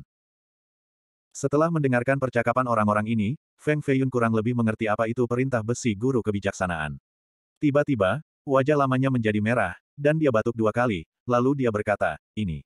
Tatanan besi guru kebijaksanaan ini adalah barang tingkat tinggi, bagaimana saya bisa membawanya di tubuh saya? Saya meninggalkannya di rumah. Jika semua orang mau untuk memperluas wawasan mereka, maka dalam dua hari, saya pasti akan membiarkan Anda semua melihat harta tingkat atas dari Ordo Besi Master Kebijaksanaan ini. Meskipun kata-kata Feng Feiyun nyaring dan kuat, tidak ada yang mempercayai kata-katanya. Mereka semua mengira dia hanya menyombongkan diri. Pada akhirnya, orang tidak bodoh. Tatanan besi master kebijaksanaan adalah simbol status, jadi mereka tidak bisa tidak membawanya bersama mereka. Begitu Feng Feiyun mengatakan ini, itu menyebabkan gelombang desahan. Namun, pria ini berkulit sangat tebal. Dengan kedua tangan terkatup di belakang punggungnya, dia masih setenang sebelumnya. Namun, ketika dia bertemu dengan mata Feng Jiansui, dia menemukan bahwa gadis kecil ini juga memiliki ekspresi kecewa. Harga diri Tuan Muda Feng kita tiba-tiba tidak bisa bertahan lebih lama lagi. Bukankah itu hanya bagian dari perintah besi master kebijaksanaan? Dalam dua hari, aku pasti akan pergi dan mendapatkan bagian yang nyata. Aku pasti akan sangat mengejutkan gadis kecil ini sehingga dia tidak akan bisa menutup mulutnya. Feng Feiyun berpikir sendiri. Ahem, itu, istri, apakah kamu tidak ingin memotong salah satu lengannya? Tunggu apa lagi? Feng Feiyun meraung pada Feng Jiansui di medan perang seolah-olah dia benar-benar memarahi istri kecilnya, menyebabkan Feng Jiansui tertegun. Bajingan, Feng Jiansui sangat kesal. Sejak dia masih muda, dia tidak pernah dimarahi seperti ini di depan begitu banyak orang. Bajingan Feng Feiyun ini benar-benar pengganggu. Dia benar-benar kecanduan memanggil saya istrinya, seolah-olah saya benar-benar istrinya, bah. Bah, bagaimana saya bisa menjadi istri seorang idiot? Bukan hanya idiot, tapi juga sampah yang tidak berguna. Meskipun Feng Jiansui marah sampai dia ingin mengutuk, dia masih berusaha menahan amarahnya dan tidak langsung meledak. Namun, aura dingin di tubuhnya tidak berkurang, itu justru meningkat. Dia berkata, Feng Yu, mari kita bertarung lagi. Feng Jiansui mengangkat pedang pertempuran di tanah lagi, dan sejumlah besar energi roh menyembur keluar dari tubuh pedang. Tiba-tiba, Energi roh tersulut, dan itu berubah menjadi domain pedang yang diciptakan oleh api asal kegelapan pertama. Dia menggunakan teknik yang diajarkan Feng Feiyun padanya. Dia ingin menggunakan kobaran api untuk memecahkan sepatu besi. Selama dia bisa mematahkan sepatu besinya, maka tidak akan sulit untuk mengalahkan Feng Yu. Ini adalah sakit kepala terbesar bagi Feng Yu saat ini. Feng Jiansui, kami telah bertarung selama 17 ronde. Tidak perlu meragukan kekuatanmu, memang sangat kuat. Kamu sudah memenuhi syarat untuk berpartisipasi dalam perang naga tersembunyi. Hari ini, aku tidak ingin melawanmu lagi. Kata Feng Yu dengan cara yang bermartabat, memamerkan sifat jantannya. Feng Jiansui berkata, saya khawatir ini bukan terserah Anda. Feng Jiansui, aku tahu kamu ingin membalas dendam untuk Feng Hao, tetapi kamu harus memilih waktu yang tepat. Kekuatan kita hampir sama. Jika kita benar-benar bertarung sampai mati, maka tidak ada yang bisa memastikan siapa yang akan menang. Hanya ada beberapa jenius sejati di generasi kelima klan Feng. Jika kita berdua menderita pada saat kritis ini, maka satu-satunya yang diuntungkan adalah penonton di pinggir lapangan. Feng Yu secara alami tidak ingin bertarung melawan Feng Jiansui saat ini karena niat bertarungnya telah dikalahkan oleh Feng Feiyun. Saat ini, peluangnya untuk menang sangat kecil. Plus, tujuannya adalah perang naga tersembunyi. Ada beberapa teknik dan trik rahasia yang ingin dia selamatkan untuk perang naga tersembunyi. Jika dia menggunakan semuanya sekarang, maka pada saat perang naga tersembunyi, dia akan kehilangan kemampuan untuk melakukan gerakan tiba-tiba dan membunuh dengan satu pukulan. Feng Jiansui secara alami memahami kebenaran ini. Pada saat ini, wajahnya menunjukkan ekspresi yang bermartabat. Meskipun dia tahu kelemahan kultivasi Feng Yu, dia masih tidak bisa dengan mudah menang melawannya. Ditambah lagi, setiap orang memiliki jurus pembunuhan terakhir, dan tidak ada yang tahu seberapa kuat jurus pembunuhan Feng Yu setelah digunakan. Feng Feiyun melihat keraguannya, dan dia mulai merenung. Pada saat ini, haruskah dia bertarung sampai mati atau tidak? Jika kamu tidak ingin bertarung, maka biarkan aku yang melakukannya. Sebuah suara samar muncul. Meskipun suaranya sangat ringan dan tidak memiliki fluktuasi emosional, itu masih menyebar ke seluruh arena bela diri yang bising dan masuk ke telinga semua orang. Suara ini membawa kekuatan yang tak tertahankan, dan itu membuat orang merasa bahwa kata-kata Feng Yu telah dipatahkan oleh pedangnya. Siapa yang baru saja berbicara? Semua orang melihat sekeliling ke segala arah, ingin menemukan orang yang baru saja berbicara. Namun, ada terlalu banyak orang di sini, jadi siapa yang tahu siapa yang berbicara? Namun, Feng Feiyun tahu siapa itu. Dia melihat ke arah kerumunan, dan dia menemukan pemuda miskin itu. Dia masih memegang pedang besinya yang berkarat, dan dia berdiri tegak di tengah kerumunan seperti batu abadi yang tak bergerak. Detik berikutnya, batu besar ini tiba-tiba menghilang dari tempat asalnya. Saat dia muncul kembali di depan semua orang, dia sudah berdiri di tengah arena bela diri. Dia masih berdiri di sana tanpa bergerak, membuat orang merasa seperti pohon mati. Feng Jiansui telah meninggalkan arena bela diri, tetapi matanya terus menatap pemuda miskin itu. Bagaimana mungkin ada kecepatan yang begitu cepat di dunia ini? Dia jelas berdiri di tengah arena bela diri, tetapi dia bahkan tidak melihat bayangannya sebelum dia memasuki arena bela diri. Kultivasi ini agak tidak terbayangkan, sepertinya bukan kultivasi yang harus dimiliki seorang pemuda. Apakah kamu kenal dia? Feng Jiansui dengan jelas melihat Feng Yu dan pemuda miskin itu mengobrol dengan gembira, jadi dia menanyakan pertanyaan ini. Aku kenal dia, tapi aku tidak benar-benar mengenalnya. Feng Feiyun dengan linglung menjawab. Pada saat ini, matanya benar-benar terfokus pada pemuda miskin itu. Feng Jiansui mengulurkan lengannya yang seputih salju, dan dia meraih leher Feng Feiyun. Dia menurunkannya dari platform batu arena bela diri, dan dia bertanya, apa yang kamu lihat pada akhirnya? Feng Feiyun tidak marah padanya. Dia melepaskan diri dari tangannya, dan dia dengan sungguh-sungguh berkata, tentu saja ada petunjuk. Soalnya, tuan muda ini benar-benar terlalu miskin. Pakaian di tubuhnya telah dicuci setidaknya seratus kali, dan sandal jerami di kakinya hampir aus. Juga, pedang besi di tangannya, bahkan tidak sebanding dengan tongkat api. Setidaknya, aku sama sekali tidak akan menggunakan pedang yang patah seperti itu. Omong kosong, kamu tidak perlu mengatakan ini. Selama seseorang memiliki sepasang mata, mereka akan dapat melihat bahwa dia benar-benar miskin, dan dia pasti telah bepergian untuk waktu yang lama. Aku yakin dia berjalan sampai ke kota kuno Cakrawala Valet. Feng Jiansui berkata. Bahkan ini terlihat olehmu. Feng Feiyun sedikit terkejut. Dia awalnya berpikir bahwa Feng Jiansui adalah wanita cantik berdada besar dan tidak berotak, tetapi dia tidak berpikir bahwa dia akan memiliki sedikit wawasan. Feng Jiansui memelototinya, dan dia berkata, kamu tidak melihat bahwa dia membawa sekantong ransum kering di punggungnya, dan sabuk kainnya tertutup kotoran dan debu. Di pinggangnya juga ada sepasang sandal jerami, itu seharusnya sudah disiapkan untuk perjalanan itu. Tentu saja aku melihatnya, tapi tidakkah menurutmu itu sangat aneh? Feng Feiyun bertanya balik. Bulu mata Feng Jiansui bergetar, dan dia dengan penasaran bertanya, apa yang aneh tentang itu? Klan Feng adalah klan teratas di prefektur Grand Selatan. Anak mana dari klan Fang yang tidak kaya atau bangsawan? Bahkan anak-anak dari cabang samping tidak akan begitu miskin.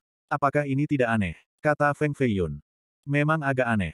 Feng Jiansui menganggukkan kepalanya, dan dia berkata, kamu hanya melihat petunjuk kecil ini. Tentu saja tidak. Lihatlah bagian belakang telinganya, ada lingkaran rune kuno.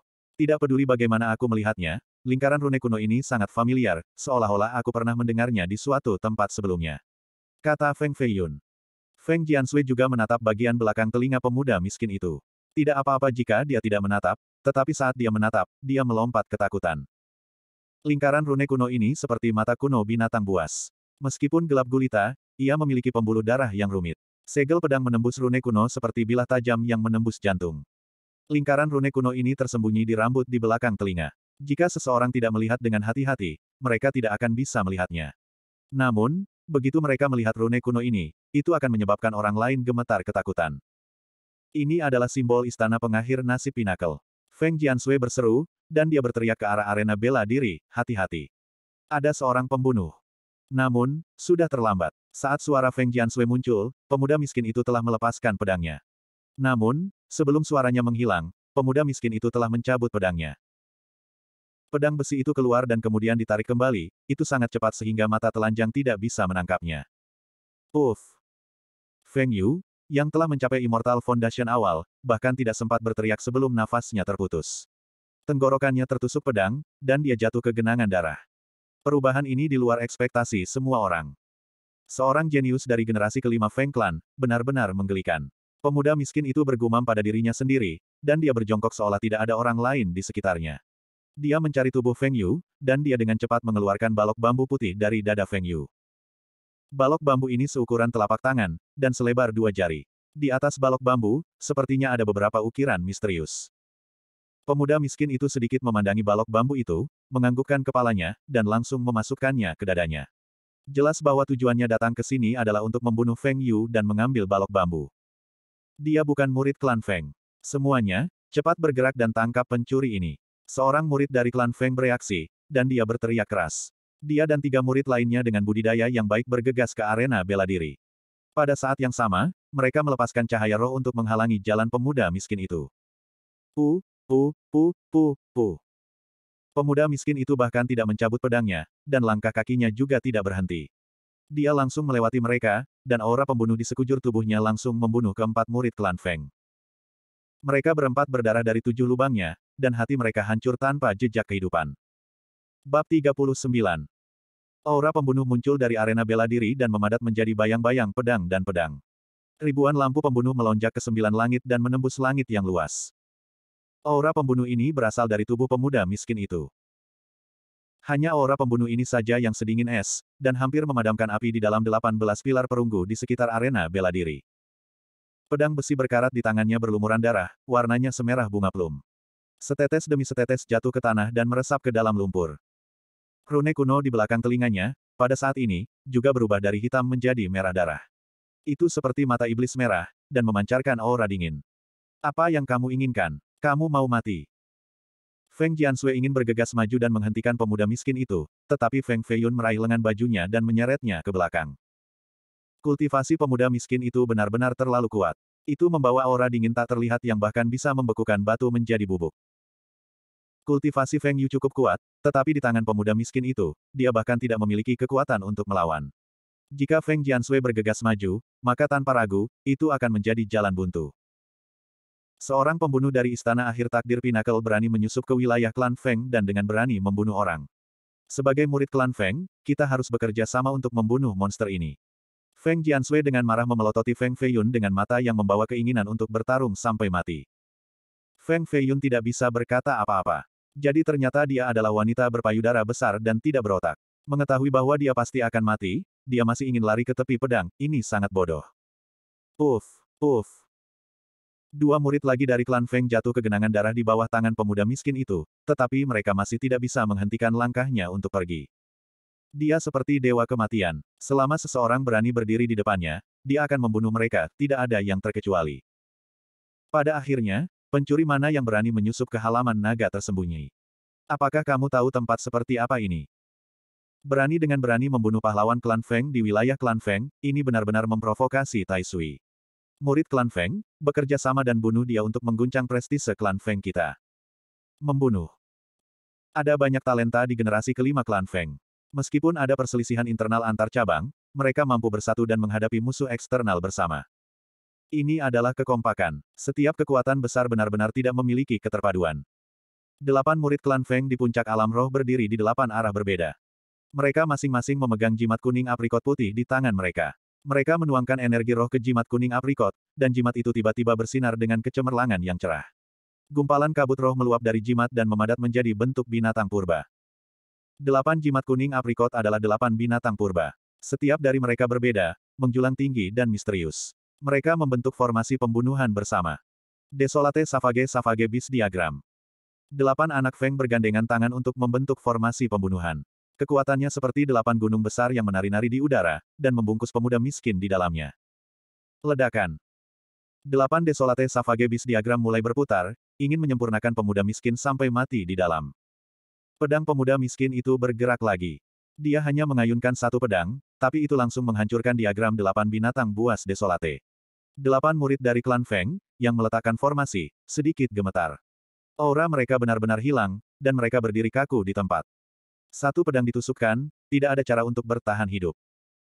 Di kejauhan, ekspresi Feng Feiyun menjadi jelek, dan dia bergumam pada dirinya sendiri, satu pedang ditusukkan delapan kali, tanpa satu pun meleset. Pedang yang sangat cepat, niat membunuh yang begitu dalam. Pedang pemuda miskin itu memang sangat cepat, itu sangat cepat sehingga mata telanjang tidak bisa menangkapnya. Hanya dalam waktu singkat sepuluh napas, lebih dari sepuluh pahlawan klan Feng telah mati di bawah pedangnya. Masing-masing terbunuh dalam satu gerakan, sama sekali tidak ada yang tersisa hidup. Jika bukan karena Feng Feiyun memegang lengan Feng Jiansui, maka gadis bodoh ini akan menjadi wanita mati saat ini. Feng Feiyun tidak berpikir bahwa pemuda miskin adalah seseorang yang akan menunjukkan belas kasihan kepada jenis kelamin yang lebih adil. Gemuruh. Di kedalaman halaman naga tersembunyi, sambaran petir menyambar udara seperti bola petir berbentuk manusia. Suatu saat, itu berada di atas sebuah pavilion di kejauhan, dan di saat berikutnya, itu sudah berada di atas pilar perunggu di sebelah arena bela diri. Petir ini mengembun menjadi sosok manusia yang mengenakan baju besi putih dengan mahkota hitam di kepalanya. Dia berusia sekitar 60 tahun, dan dia mengeluarkan aura perubahan, namun dia masih sangat mengesankan. Para ahli generasi tua dari klan Feng telah tiba. Feng Feiyun adalah orang pertama yang memperhatikan pria tua di atas pilar perunggu. Ini seharusnya tetua dari klan Feng yang menjaga halaman naga tersembunyi. Halaman naga tersembunyi adalah tempat penting klan Feng, jadi tidak mungkin tidak ada ahli generasi tua yang menjaganya.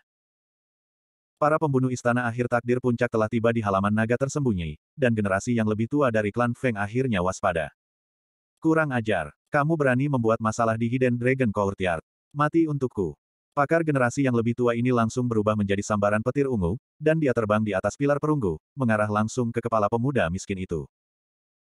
Lebih dari sepuluh jenius dari klan Feng telah meninggal, dan bahkan bakat luar biasa seperti Feng Yu telah jatuh ke tanah. Pakar generasi tua dari klan Feng ini benar-benar marah, dan dia ingin mengambil nyawa pemuda itu. Ini adalah salah satu dari empat tetua yang bertanggung jawab atas halaman naga tersembunyi. Dengan dia mengambil tindakan, pembunuh itu pasti akan dieksekusi. Wajah Feng Jiansui dipenuhi dengan kegembiraan. Uff! Suara pedang merobek langit, dan kemudian ada darah di seluruh tanah, seperti hujan darah yang mendidih. Anda, Tetua klan Feng mengarahkan jarinya ke pemuda miskin itu, dan wajah tuannya dipenuhi dengan kejutan. Namun, dia hanya berhasil mengucapkan satu kata, dan sisa kata-katanya seperti seseorang mencubit tenggorokannya, dan dia tidak bisa mengatakan apa-apa lagi. Us.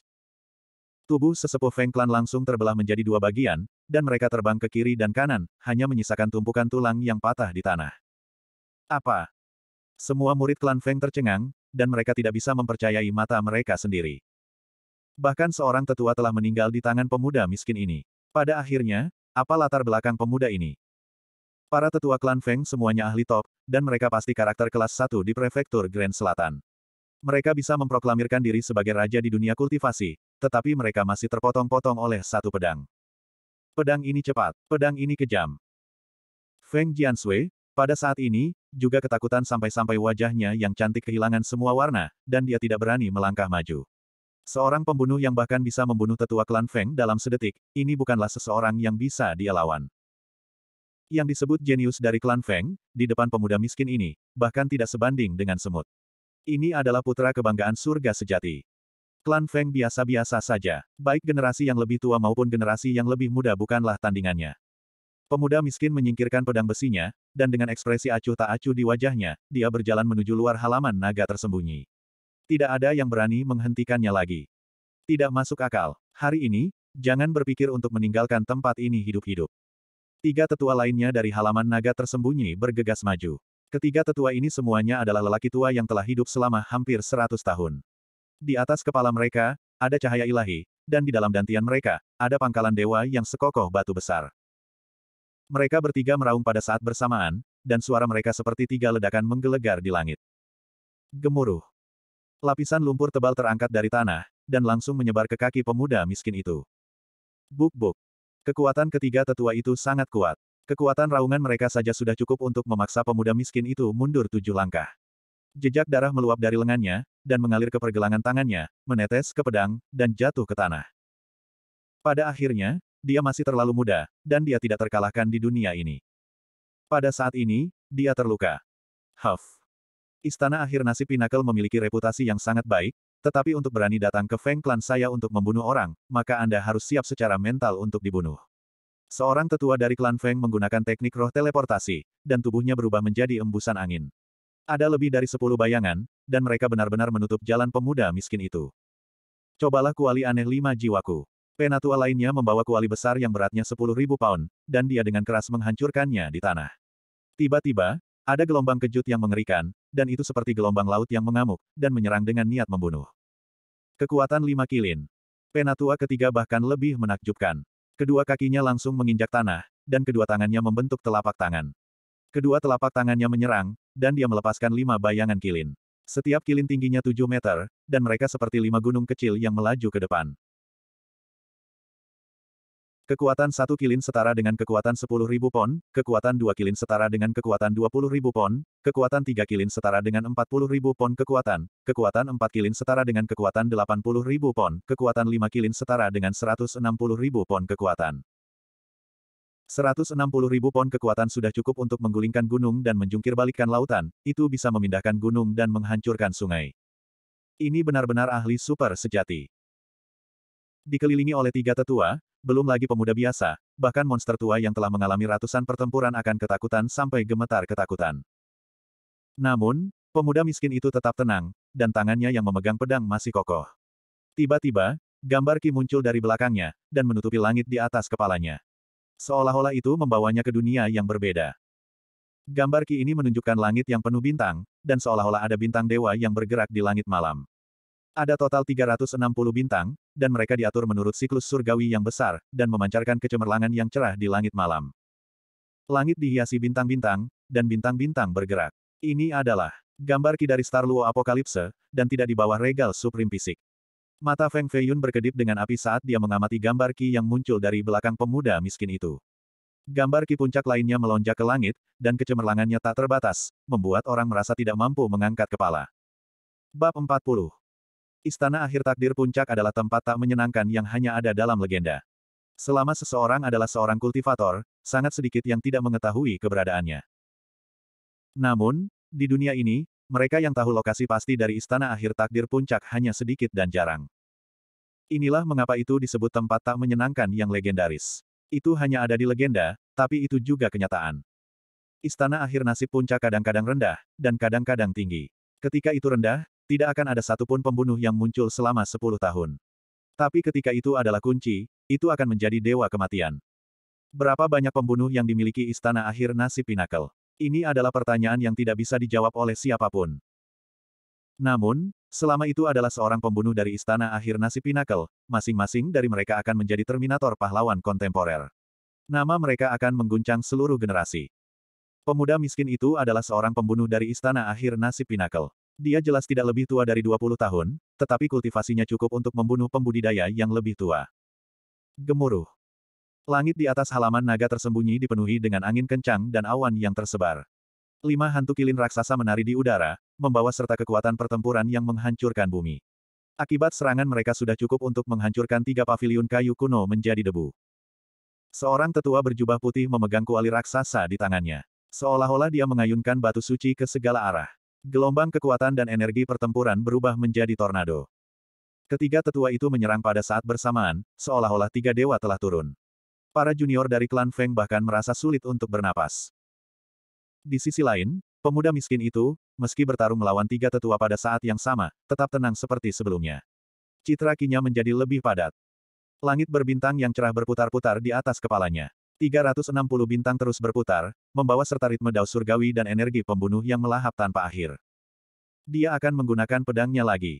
Feng Feiyun menatap tangan pemuda miskin itu. Ini adalah tangan pembunuh yang berbahaya. Bagaimana Anda tahu? Feng Jiansui tidak mempercayainya. Bahkan dia tidak bisa melihat bayangan keempat orang di lapangan, apalagi Feng Feiyun. Uff. Saat dia selesai berbicara, suara pedang yang menembus langit diikuti dengan jeritan. Hujan darah jatuh ke tanah. Bang! Penatua yang menggunakan transposisi pemindahan bentuk ditusuk di tengah alisnya dan jatuh dari atas. Ada lubang seukuran jari di tengah alisnya, dan cairan putih dan merah mengalir keluar. Penatua lain telah mati di tangannya.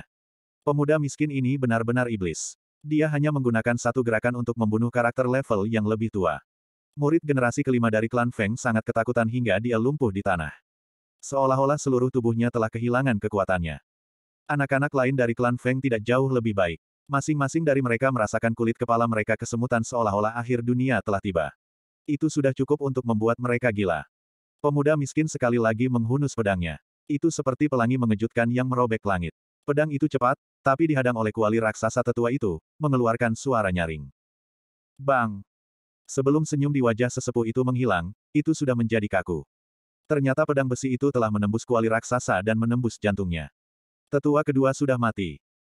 Pada saat ini, niat membunuh pada tubuh pemuda miskin itu menjadi semakin kuat. Itu seperti matahari di siang hari, meledak dengan kecemerlangan yang tak tertandingi. Penatua terakhir dengan kultivasi terkuat, pada saat ini, juga mengungkapkan ekspresi terkejut. Kekuatan di tubuhnya memadat, dan dia menunjukkan aura yang tak tertandingi. Satu telapak tangan menembakkan lima cahaya ilahi yang terkondensasi menjadi lima kilin. Suara mendesing. Cahaya pedang melintasi langit dan memotong kelima kilin menjadi asap hijau. Kepala seorang lelaki tua terbang dan jatuh beberapa ratus sang jauhnya, berubah menjadi bubur berdarah. Sa, sa. Angin dingin bertiup ke wajah, menyebabkan halaman naga tersembunyi yang awalnya berkembang menjadi sedikit lebih suram. Bau darah berlama-lama di udara. Sejauh mata memandang, seolah-olah mereka telah tiba di ladang Asura. Pemuda miskin berdiri di tengah-tengah mayat berdarah. Tubuhnya lurus, dan pakaiannya penuh dengan noda darah. Dia telah menerima tujuh atau delapan luka, dan ada darah yang mengalir keluar dari lukanya. Dia masih memegang pedangnya, seperti dewa kematian. Keempat tetua halaman naga tersembunyi semuanya mati di tangannya. Mereka semua terbunuh dalam satu gerakan, dan poin vital mereka terkena. Feng Jiansui sudah pucat karena ketakutan, dan dia ingin muntah. Ketika tatapan pemuda miskin itu datang, dia tidak bisa menahan diri untuk mundur dua langkah. Ini adalah ketakutan naluriah. Dia bukan istrimu. Pemuda miskin itu berkata dengan dingin. Feng Feiyun dengan cepat berdiri di depan Feng Jiansui, dan dia berteriak, apa yang kamu lihat? Dia jelas bukan istrimu. Aku benci pria yang mengambil kebebasan dengan wanita. Pemuda miskin itu dengan lembut menyeka pedang di tangannya, dan suaranya membawa udara dingin. Feng Feiyun tiba-tiba menjadi bersemangat, dan dia tersenyum berkata, dia bersedia untuk diambil kebebasannya oleh saya, itu tidak ada hubungannya dengan Anda. Bocah kecil, apakah Anda memiliki adik perempuan? Lain kali, saya akan mencoba mengambil kebebasan dengannya. Adik perempuan. Pemuda miskin itu menyentuh balok bambu di dadanya, dan matanya bersinar dengan sedikit kelembutan. Namun, kelembutan ini dengan cepat digantikan oleh niat membunuh. Dia dengan dingin mendengus, menarik pandangannya, dan berbalik untuk pergi. Kamu benar-benar orang yang menyebalkan. Jika aku bertemu denganmu lagi, aku pasti akan membunuhmu. Sosok pemuda miskin itu melintas, dan pada saat berikutnya, dia sudah berdiri di atas tembok tinggi halaman naga tersembunyi. Lalu mengapa tidak membunuhku sekarang? Feng Feiyun bertanya sambil tersenyum. Karena aku tidak punya waktu. Pemuda miskin itu sepertinya sedang terburu-buru. Matanya terus-menerus menatap ke kejauhan seolah dia ingin melihat seseorang. Dia hendak pergi, tapi suara tak henti-hentinya dari Feng Feiyun datang dari belakangnya. Hai, bertemu adalah takdir, bagaimana kalau meninggalkan namamu? Feng Feiyun mengejarnya. Jika kamu ingin menemukan pedang pembunuh, temukan Du Gao. Pemuda miskin itu seperti burung besar yang terbang langsung ke langit, dan dia menghilang di antara gedung-gedung besar. Suaranya masih bergema di udara untuk waktu yang lama. Du Gao. Nama ini, dalam waktu yang sangat singkat, akan bergema di seluruh prefektur Grand Southern. Feng Feiyun melihat ke belakang saat dia pergi, dan dia bergumam pada dirinya sendiri dengan sedikit senyuman, dia jelas membawa pedang, tapi dia mengatakan itu adalah pedang pembunuh. Mungkinkah kepala orang ini dijepit oleh pintu? Tentu saja kepalanya tidak dijepit oleh pintu, tetapi kamu hanya melihat pedangnya, dan kamu tidak melihat pedangnya. Atau mungkin, Anda tidak memiliki kualifikasi untuk melihatnya menggunakan pedang. Feng Jiansui mendekat, dan matanya penuh kebingungan, dan dia bertanya, apakah benar-benar karena dia tidak punya waktu sehingga dia tidak membunuhmu? Brengsek, apakah kamu benar-benar ingin aku mati di bawah pedangnya? Feng Feiyun bertanya. Merupakan keajaiban bagi seseorang dengan mulut murahan seperti mulutmu untuk dapat bertahan hidup. Kata Feng Jiansui sambil tersenyum. Feng Feiyun, dengan ekspresi bermartabat, berkata, sebenarnya dia tidak membunuhku. Ada dua alasan. Pertama, dia benar-benar tidak punya waktu. Dia datang ke halaman naga tersembunyi untuk membunuh Feng Yu, dan jelas dia menginginkan balok bambu di dada Feng Yu. Adapun apa yang tertulis di balok bambu itu, saya tidak tahu. Namun, satu hal yang pasti, orang yang menginginkan balok bambu itu pasti bukan dia, tapi majikan yang menyewanya untuk membunuh. Pemberi pekerjaan, Feng Jiansui terkejut. Du Shou Gao adalah seorang pembunuh. Jika seorang pembunuh ingin membunuh seseorang, prasyaratnya adalah seseorang harus membayar. Kata Feng Feiyun. Majikan mana yang akan dia temui? Mata Feng Jiansui bersinar dengan cahaya aneh, dan dia menatap Feng Feiyun dari dekat dengan kilatan mematikan di matanya. Tubuh Feng Feiyun sedikit bergetar, dan dia dengan lembut membungkus tubuhnya. Matanya melihat sekeliling dan berpikir, Du Gao telah pergi, tapi kenapa aku merasakan sedikit niat membunuh sebelumnya? Apakah itu ilusi? Itu seharusnya ilusi. Feng Feiyun menganggukkan kepalanya, dan dia berkata, dia harus pergi menemui majikannya.